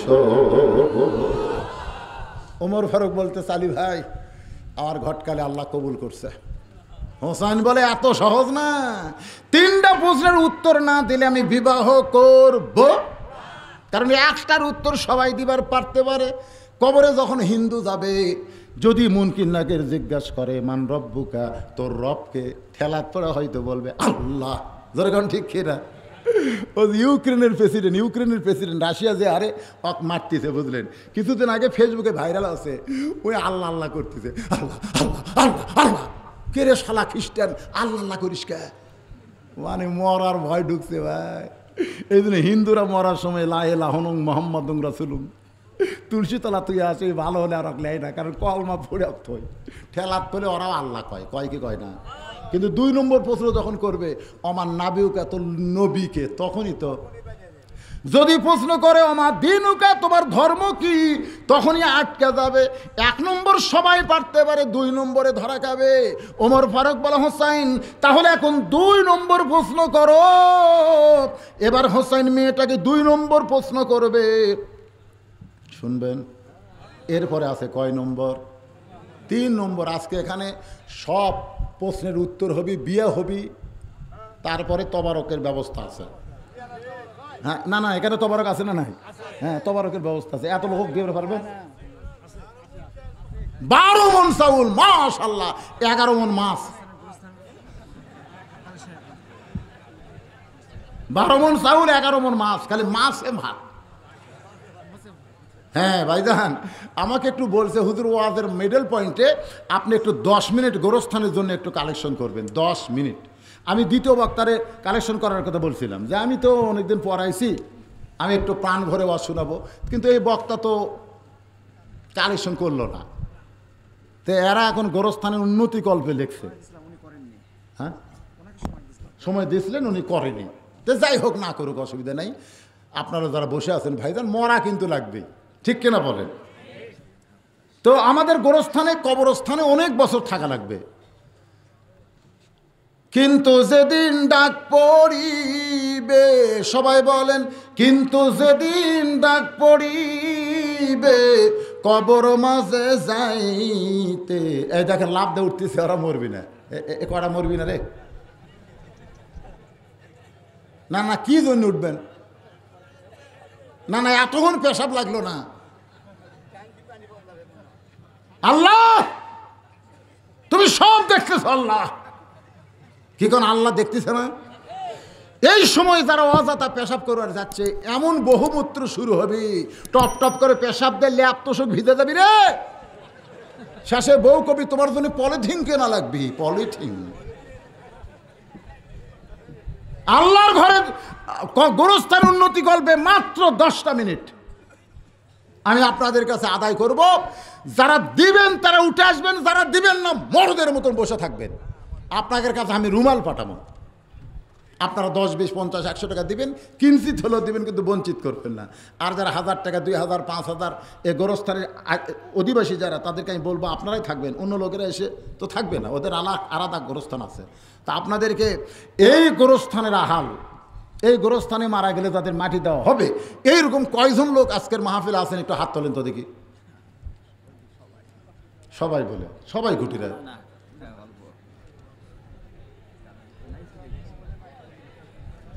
কেরে বলরাম চক আর পাঁচুপুর?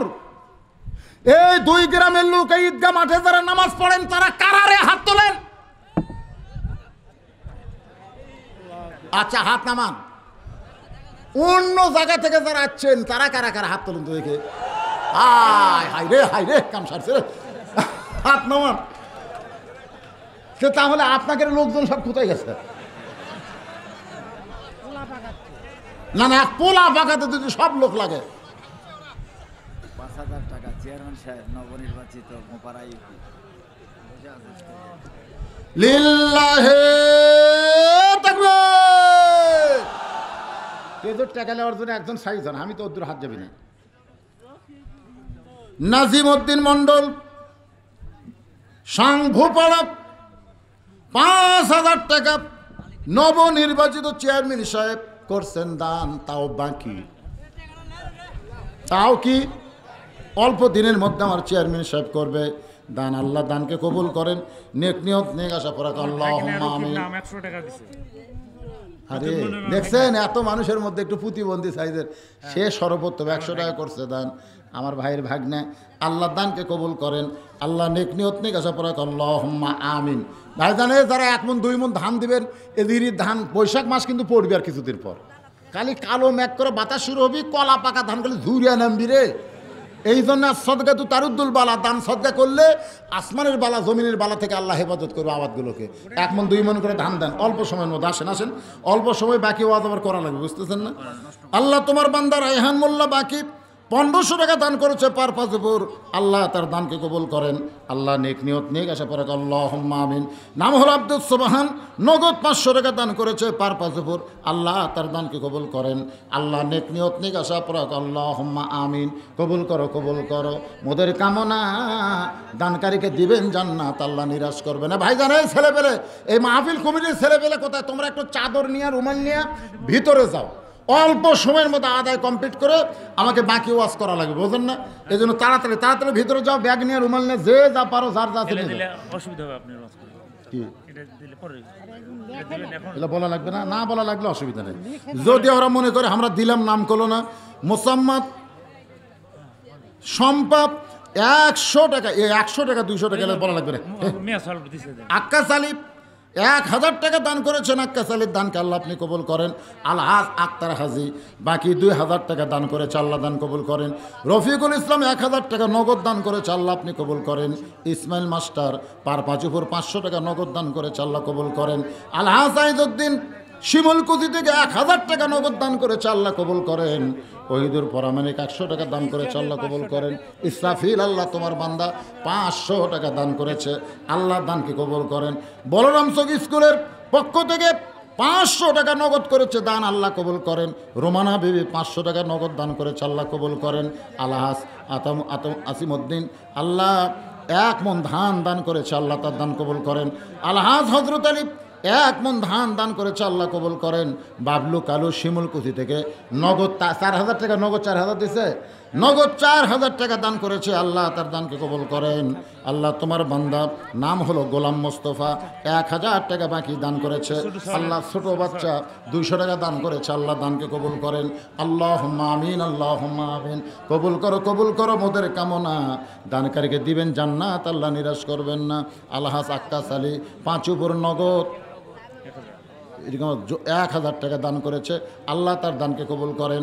আল্লাহ তোমার একজন বান্ধব একশো টাকা দান করেছে আল্লাহ কবুল করেন। এ আপনারা ওঠা বসা করতেছেন কেন? আপনাদের কাছে যাবে। যারা দান করবেন তারা কেবল উঠবেন। দুই হাজার টাকা সাইদুর কাশুন দেয়। লিল্লাহে দেখবেন সাইদুর রহমান কাসুন্দা বাড়ি দুই হাজার টাকা দান করেছে নগদে। আল্লাহ সাইদুরের দানকে আল্লাহ আপনি কবুল করেন। আল্লাহ আমিন। আজকের মাহফিলে আপনি তো সভাপতি। সভাপতি আপনার নাম কি?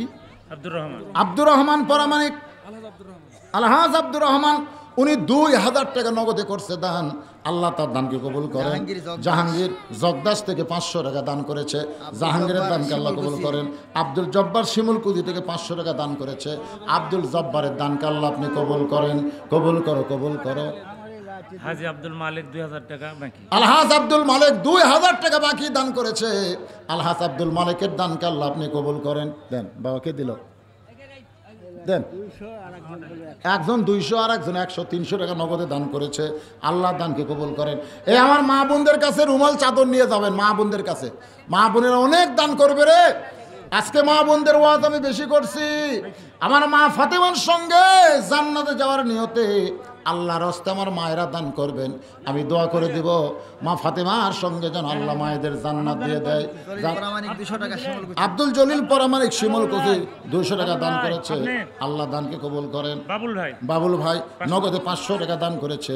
আল্লাহ বাবুল ভাইয়ের দানকে আল্লাহ কবুল করেন। লোকমান পার গুন্নুই থেকে এসে লোকমান পাঁচশো টাকা নগদে করল দান।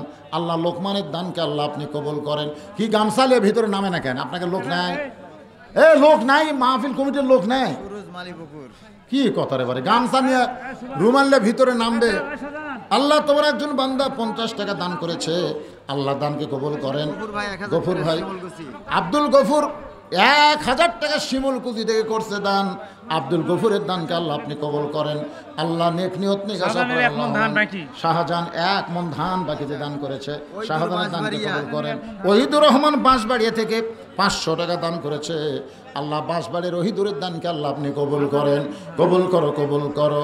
মোদের কামনা দানকারীকে দিবেন জান্নাত, আল্লাহ নিরাশ করবেন না। দোয়া করদম দোয়া করদম। বাদার গাহে লাহি, হায়াত দৌলত এলমে দারাজি। এ যে গামছা নিয়ে নামছে ভাই, দেন, যাই যা পারবেন আল্লাহর হস্তে দেন। আর আপনার একটু আবাদের ধান দেন রে। দুই এক মন করে ধান দেন। আসমানের বালা, জমিনের বালা থেকে আ- আবাদকে আল্লাহ হেফাজত করবে। সবাই দেন, নিয়ত করেন। আল্লাহ যদি আপনাকে দেয়, আপনি আল্লাহর হস্তে দিতে অসুবিধা কি? গোরস্থানের একটু মাটি বায়না করে রাখ। কখন যেন আসতে পারে? তোমার মরণেরই ডাক। গোরস্থানের একটু মাটি বায়না করে রাখ রে। গোরস্থানের একটু মাটি বায়না করে রাখ। যাদের বাপ মা কবরে গেছে, বাপ মার জন্য দান করেন। হ্যাঁ বাপ মার কথা মনে হয় না? বাবা কান্দে, মা কান্দে কবরেতে শুয়া। দেখলি না রে দরদের বেটা? একবার ও আসিয়া একদিন ভাঙবে রে বাজার। এ বাজার ভাঙিয়া গেলে পাঁচ, সাত, দশ জন গামছা নিয়ে নামবেন। হ্যাঁ খুব তাড়াতাড়ি আদায় করেন। হ্যাঁ একজন বিশ টাকা, একজন একশো টাকা দান করছে।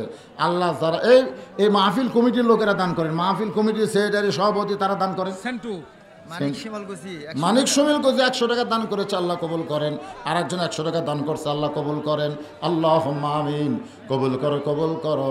মোদের কামনা দানকারীকে দিবেন জান্নাত আল্লাহ নিরাশ করবেন রহিজউদ্দিন শিমুল কুসিফ বাইরের লোক পাঁচশো টাকা দান করেছে। আল্লাহ শিমুল কুচি লোকেরাই বেশি দান করতেছে। শিমুল কুচি কত দূর এখান থেকে?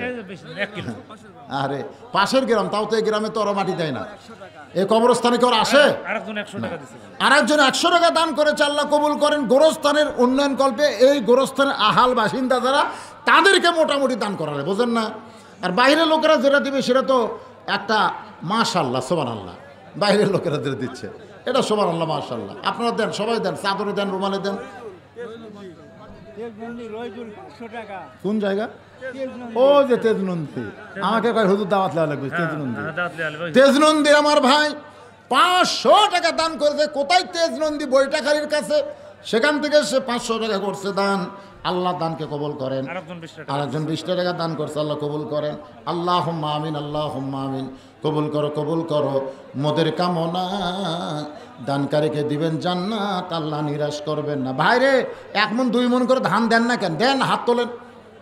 আপনাকে পার পাঁচ উপরের লোকেরা আসে না কেন? পার পাঁচ উপরের লোকেরা কোথায় গেল? খালি সব শিমুলকুচি তেজনুন্দি আশেপাশের লোকেরা দেয়। এই গ্রামের লোকেরা কি আগে দান করছে? আপনাকে গ্রামের লোককে দান করছে আগে। মোহাম্মদ জামিল ঠিকানা হ্যাঁ দেখি লিখে দিচ্ছে ঠিকানা এটা লিখে দিচ্ছে ওই কার্ড ওই কার্ড মোহাম্মদ জামিল হোসেন আটষট্টি হাজার গ্রাম বাঁচলে বাংলাদেশ বাঁচবে। পল্লী বন্ধু এরশাদ সাহেবের জামিল হোসেন সাধারণ সম্পাদক আত্মারি উপজেলা জাতীয় পার্টি। পাঁচশো টাকা দান করেছে। আল্লাহ দানকে কবুল করেন। আরেকজন শিমল কুদির একশো টাকা দান করেছে। আল্লাহ কবুল করেন। আল্লাহ আমিন। আতাউর রহমান জয়নাথপুর পাঁচশো না কি লিখলো? পাঁচশো পাঁচশো টাকা দান করেছে। আল্লাহ তার দান কবুল করেন। আল্লাহ নেক নিয়ত নেক আশা পরাক আল্লাহ আমিন। আর একজন আল্লাহর বান্দা একশো টাকা দান করছে আল্লাহ কবুল করেন। আল্লাহ আমিন। আপনাদের গোরস্থান কমিটির সভাপতিকে? দুইশো টাকা লিয়া তিনশো টাকা দেন। দুইশো টাকা তিনশো। তিনশো ব্যাগ দেন হ্যাঁ। ও দিচ্ছে দিচ্ছে। দেন আপনি দেন। দেন। মকবুল হোসেন পার পাঁচু উপরের নগদ দুইশো টাকা বাকি দুই মন ধান। এটা লিখছেন? এই মকবুল হোসেন লিখছেন? লেখো দুইশো টাকা নগদ দুই মন ধান বাকিতে করছে ধান। ওটাই। আচ্ছা। দুই মন ধান। এই গোরস্থান কমিটির সভাপতিকে সভাপতি? উনি সভাপতি।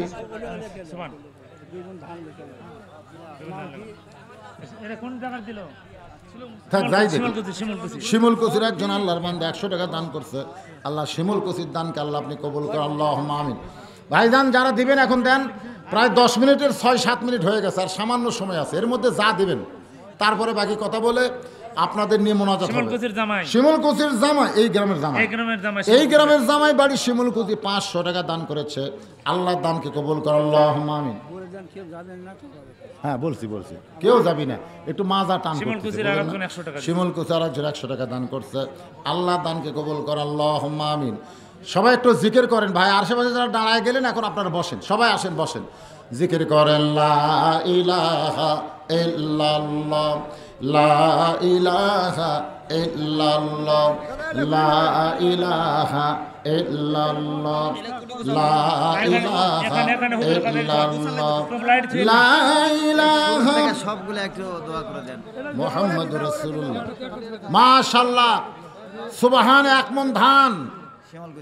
শিমুলকুচি সাইদুর, কাসুন্দা দুই হাজার টাকা।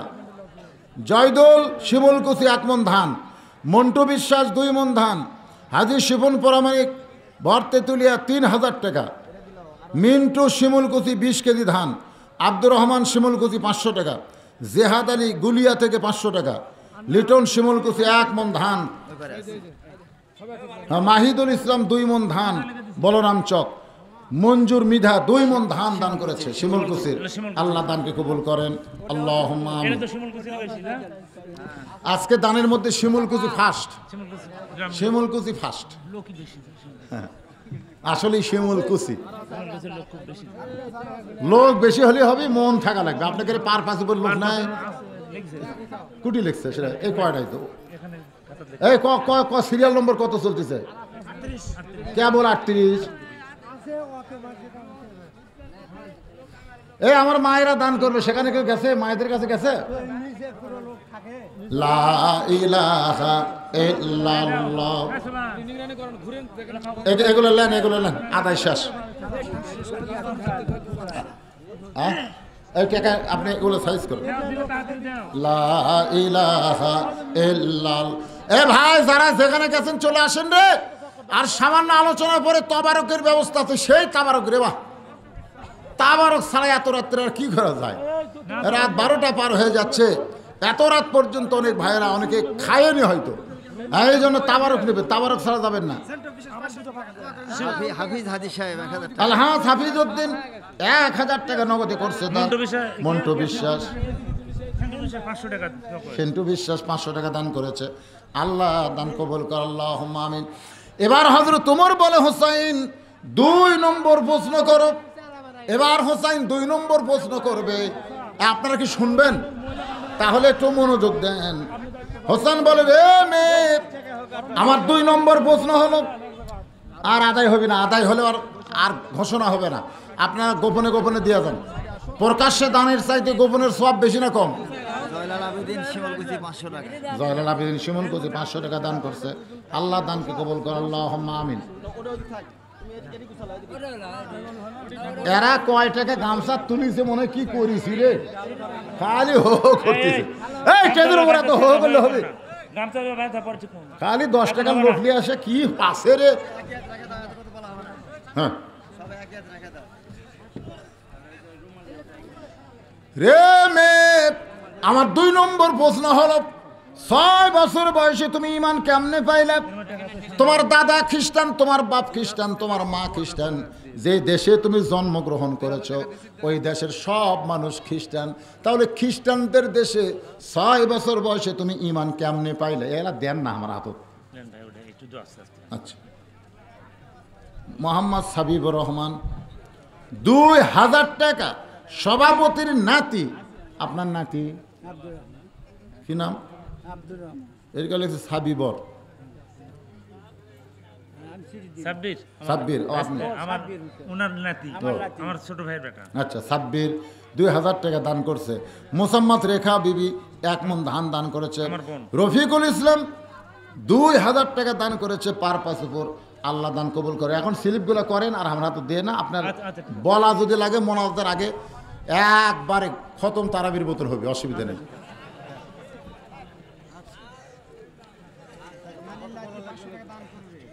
হ্যাঁ? আমাদের প্রিয় নবী হজরত মোহাম্মদাল্লাম দেখেন। রজব চাঁদে আল্লাহ তালার সঙ্গে সাক্ষাৎ করতে গিয়েছিলেন ওখানে কি দেখেছিলেন এবং কি কথাবার্তা হয়েছিল এর তাফসির পেশ করার জন্য আপনাকে বিশেষভাবে অনুরোধ করা করছি। এটা দেওয়া লাগতো যখন ওয়াজ শুরু করতেছিলাম তখন। এখন আবার এরই উপর তাফসির করে ফজরনাথ পড়ব? এ তো বিশাল কথা মেয়েরাজের উপর ওয়াজ করা লাগবে। এটা এখন চলবে না। হ্যাঁ। এটা থাক। ওয়াজ যখন শেষ হবে, তখন দিছে আর এক ওয়াজের। কি কথা হচ্ছে, কি হচ্ছে, এগুলো সব বলবার নামাজের ওয়াজ করলে তিন দিন লাগবে, জোরে ঠিক কিনা? হায় হায় রে, আল্লাহর সাথে কি গল্প হলো? আসেন যে কথা বলতেছে কথার গুরুত্ব আছে না নাই? যে ছয় বছর বয়সে তুমি ইমান কেমনে পাইলাম তোমার দাদা খ্রিস্টান, তোমার বাবা খ্রিস্টান, তোমার মা খ্রিস্টান যেই দেশে তুমি জন্মগ্রহণ করেছ ওই দেশের সকলেই খ্রিস্টান। ওই খ্রিস্টানদের মধ্যে ছয় বছরে তুমি ইমান কেমনে পাইলা? সঙ্গে সঙ্গে হত উমর কাইফা উঠছে। হয়তো তোমার চমকে উঠছে। চমকে ওঠার কারণ হলো যেই প্রশ্ন আমার করা দরকার ছিল কারণ দুই পাহাড়ের মাঝখানে গিরিপথে যখন মেয়েটার সঙ্গে দেখা হলো যখন মেয়েটা বলল আমি ছয় বছর বয়সে ইমান গ্রহণ করেছি। তখনই তো হজরত উমরের বলা দরকার ছিল, তুমি ইমান কেমনে গ্রহণ করলা? যেই প্রশ্ন উমর করতে পারে নাই, সেই প্রশ্ন হুসাইন করল। ধরে কর না সোহার আল্লাহ মেয়েটা বলে, হোসাইন, ছয় বছর বয়স ইমান কেমনে পাইলাম? আমি সাধারণ কোনো ঘরের মেয়ে না। ও হুসাইন, আমি কিন্তু সাধারণ ঘরের মেয়ে না। আমার দাদা হলো রম সম্রাট কাইসার। যেই বলেছে আমার দাদা রম সম্রাট কাইসার, সঙ্গে সঙ্গে মোর ফারুক চমকে উঠছে। তাহলে মেয়েটা সাধারণ কোনো ঘরের না। সেই সময় দুইটা পরাশক্তি ছিল, একটা হলো রোম আর একটা হলো পারস্য। রোমের যিনি সম্রাট ছিল, তার নাম হলো কাইসার। আমার দাদা একজন অন্দর মহলে। আমাকে গিয়ে বলে, নাতনি রে, আজকে রোমের রাজদরবারে খেলা হবে। তুই কি খেলা দেখতে যাবি? ছয় বছরের ছোট্ট মেয়ে খেলা দেখার কথা শুনে আমি বাইনা ধরলাম, দাদু ভাই, আমি খেলা দেখতে চাই। আমি দাদার সঙ্গে খেলা দেখতে আসলাম রাজ দরবারে আমার দাদার সিংহাসনের পাশে আমার ছোট্ট একটা চেয়ার সেট করে দিল। আমি সেই চেয়ারে বসলাম, দাদু, খেলা দেখার কথা বলে নিয়ে আসলেন, খেলা কোন জায়গায়? আমার দাদা বলে, তাকায় দেখ রে নাতনি, তাকায় দেখ। আমি তাকায় দেখি, একটা মানুষের চোখ কালো কাপড় দিয়ে বেঁধে রাখছে। ওই মানুষের দুইটা হাতে হ্যান্ডকাপ লাগাইছে, ওই মানুষের দুইটা পায়ে লোহার শেকল দিয়ে আটকায় রাখছে। আমি কলাম, দাদু ভাই, খেলা দেখার কথা বলে নিয়ে আসে। একটা মানুষকে আমি দেখতে পাই। আমার দাদা বলে, নাতনি রে, ওইটা মানুষ না, ওইটা মানুষ না। ওইটা হলো মুসলমান, ওইটা হলো মুসলমান। আমি চমকে উঠলাম। আমার দাদা খ্রিস্টান হওয়ার কারণে মুসলমানকে মানুষ মনে করতেছে না। যার কারণে বলতেছে, ওটা মানুষ না রে, ওইটা হলো মুসলমান। আমি তখন বললাম, দাদা, এই মুসলমানকে নিয়ে আপনি কি খেলা দেখাবেন? আমার দাদা বলে, ওই যে তাকায় দেখ, মেয়েটা বলে, হোসাইন, ছয় বছরের ছোট্ট মেয়ে, আমি তাকায় দেখি, একটা চুলার মধ্যে আগুন দাও দাও করে জ্বলতেছে। ওই আগুনের উপরে বিশাল এক দেখছি মনে মনে তেল। নিচের আগুনের তাপে তেলগুলো টকবক টকবক করতেছে। আমার দাদা বলতে নাতনি রে, আজকে হাত পাও বেঁধে ওই মুসলমানকে উত্তপ্ত তেলের মধ্যে ফেলে দিব। এই মুসলমান পড়ে মরে মরে যাবে। আজকের খেলার নাম হলো মুসলমান মারার খেলা। মেয়েটা বলা, হোসাইন, ছয় বছর বয়স, আমি চমকে গিয়ে বললাম, দাদু ভাই একটা মুসলমানকে জীবন্ত তেলের মধ্যে পুড়ে মারবেন।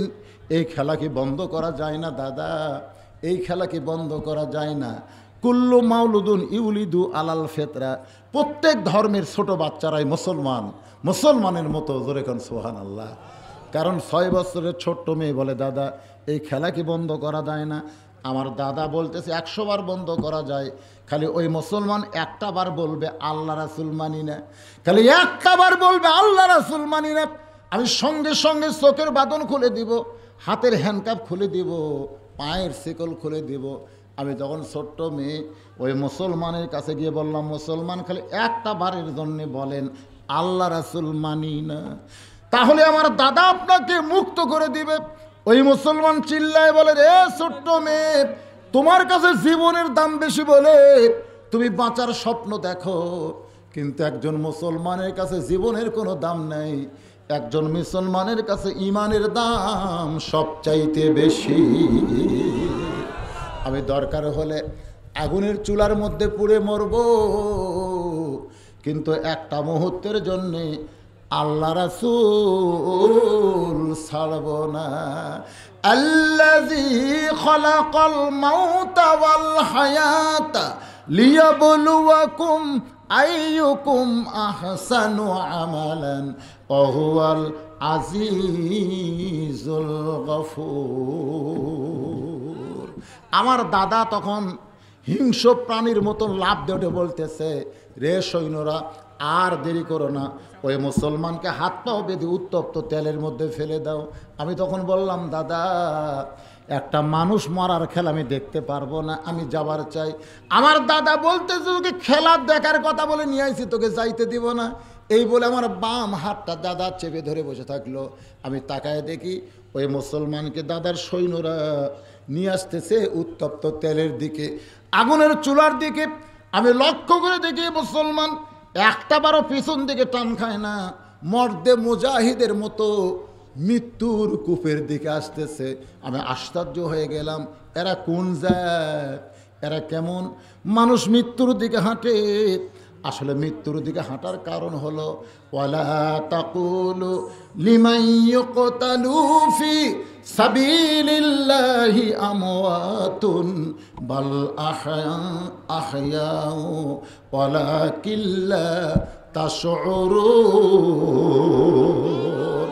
আল্লাহ রাস্তায় যাদেরকে হত্যা করা হবে, আমার আল্লাহ বলতেছে তারা মৃত্যুবরণ করে না, বরং তারা চিরজীবন লাভ করে।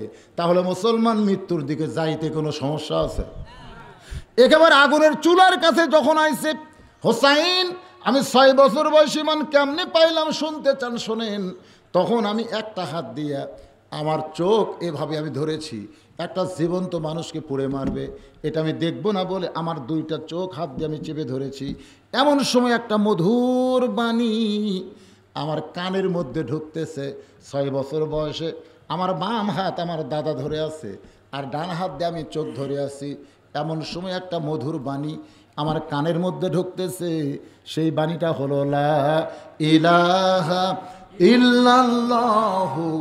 মোহাম্মদুর রসুল্লাহ মেয়েটা বলে, হোসাইন এই মধুর কলেম আমার কানের মধ্য দিয়া, আমার কলিজার মধ্যে যখন ঢুকে গেল, আমি তখন দেখতে পাই, যদিও হাত দিয়ে চোখ চেপে ধরেছি, তারপর আমি দেখতে পাই, ওই মুসলমানের খাঁচাটা, দেহটা আগুনের চুলার মধ্যে পড়ল।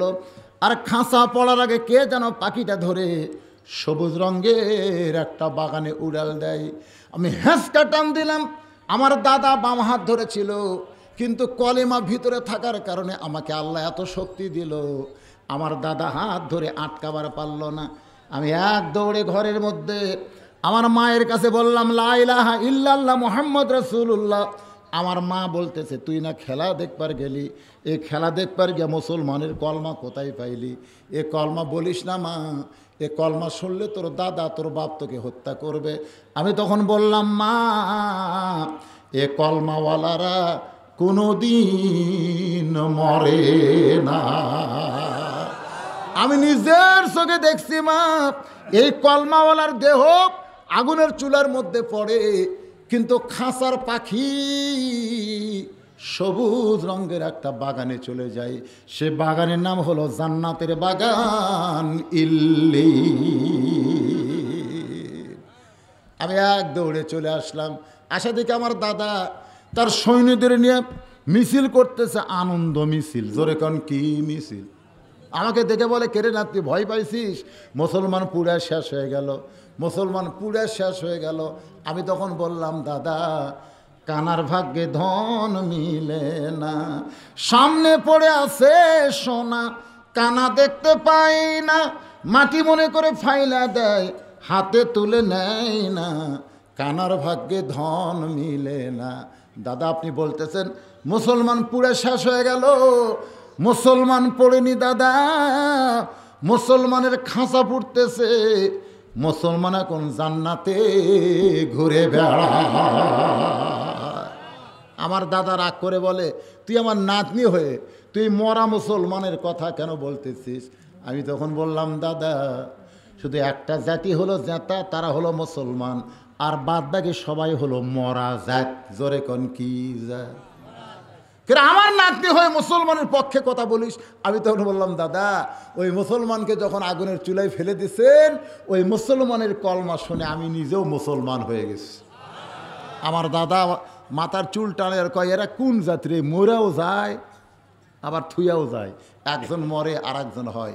আসলে মুসলমান এমন একটা জাত, কিয়ামত পর্যন্ত চেষ্টা করলে এই জাতকে শেষ করা যাবে না। এই জাত আরও দিন দিন বাড়বি, জোরে কোন কথা ঠিক কিনা? দিন দিন মুসলমানের সংখ্যা বাড়তিছে না কমতিছে? আমেরিকার বর্তমান প্রেসিডেন্ট জো বাইডেন বলেছে, দুই হাজার পঁচিশ সালে গোটা পৃথিবীতে সবচাইতে সংখ্যাগরিষ্ঠ দল হবে মুসলমান। সোমান আল্লাহ বলেন। সব ধর্মের লোকেরা কমতেছে আর মুসলমান দিন দিন বাড়তেছে। এ বাড়ার কারণ হলো আমরা জন্ম দিয়ে তো বাড়াচ্ছি, তারপরে দৈনিক হিন্দুরা মুসলমান হচ্ছে, খ্রিস্টানের মুসলমান হচ্ছে, ইহুদি মুসলমান হচ্ছে, বৌদ্ধরা মুসলমান হচ্ছে। গোটা পৃথিবীতে অনেক আলেমদের হাতেও মুসলমান হচ্ছে। জোরে কোন কথা ঠিক কি না? যাদের হাতে বেশি বেশি মুসলমান হয় তাদেরকে বাংলাদেশ থেকে বাইর করে দিবে, আবার জেলের মধ্যে ঢুকাবে। চেষ্টা করতেছে, এরকম হলে তো সে হারে মুসলমান হওয়া শুরু হয়ে গেছে। আরে পাগলা, দৈনিক আমেরিকাতে কত খ্রিস্টান মুসলমান হয় আপনারা জানেন? দৈনিক ভারতে কত হিন্দু মুসলমান হয়? মুসলমানের সংখ্যা দিন দিন বাড়বে না, কমবে?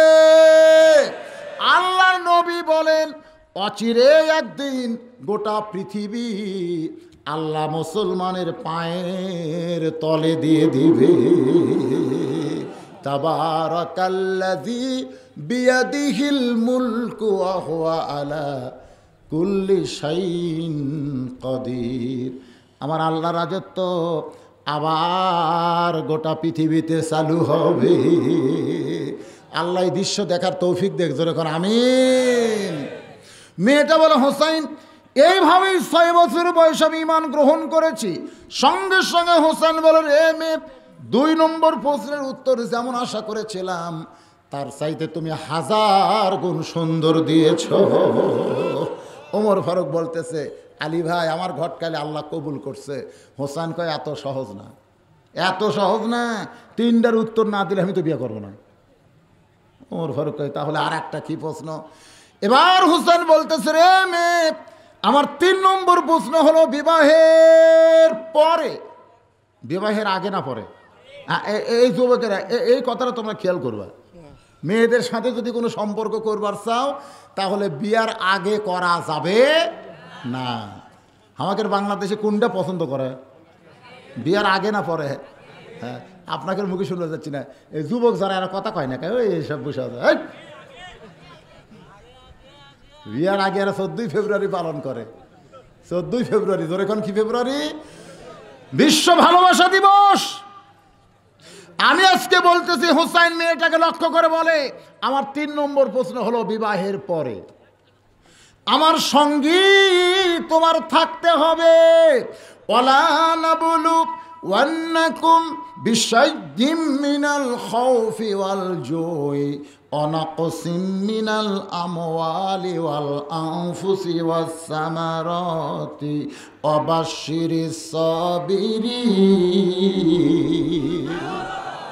যারা প্রকৃত মুসলমান হবে, তাদের জীবনে কষ্ট আছে, শান্তিও আছে দুঃখ আছে আছে না নাই? জেল আছে, জুলুম আছে। স্বামী যদি জেলত যায়, আর বউ যদি কয়, আমি আর একটা কি কন? হয় না এরকম? হোসাইন বলতেছে, রে মেয়ে, বিবাহের পরে আমার সঙ্গী তোমার থাকতে হবে। কিছুক্ষণ পরে মেয়েটা কান্না শুরু করেছে। ওমর ফারুক বলে, মা, দুইটা কঠিন প্রশ্নের উত্তর তুমি দিবার পেরেছ। এই সহজ প্রশ্ন শুনে কান্দ কেন? মেয়েটা বলে, হোসাইন, আপনি যে প্রশ্ন করেছেন যে বিবাহের পরে আপনার সঙ্গী থাকতে হবে, আল্লাহর একজন মস্ত বড় নবী ছিল, নাম হলো আয়ুব নবী। জোরে বলেন, নাম কি? আয়ুব নবী একদিন বাদশা ছিল, সুন্দর একজন সুটাম দেহির নবী ছিল। কোটি কোটি সম্পদের মালিক ছিল। আয়ুব নবীর অনেকগুলো বিবি ছিল পাইক পেয়াদা ছিল উদিন নাদির মন্ত্রী ছিল। একদিন আয়ুব নবীর সবাই ছিল।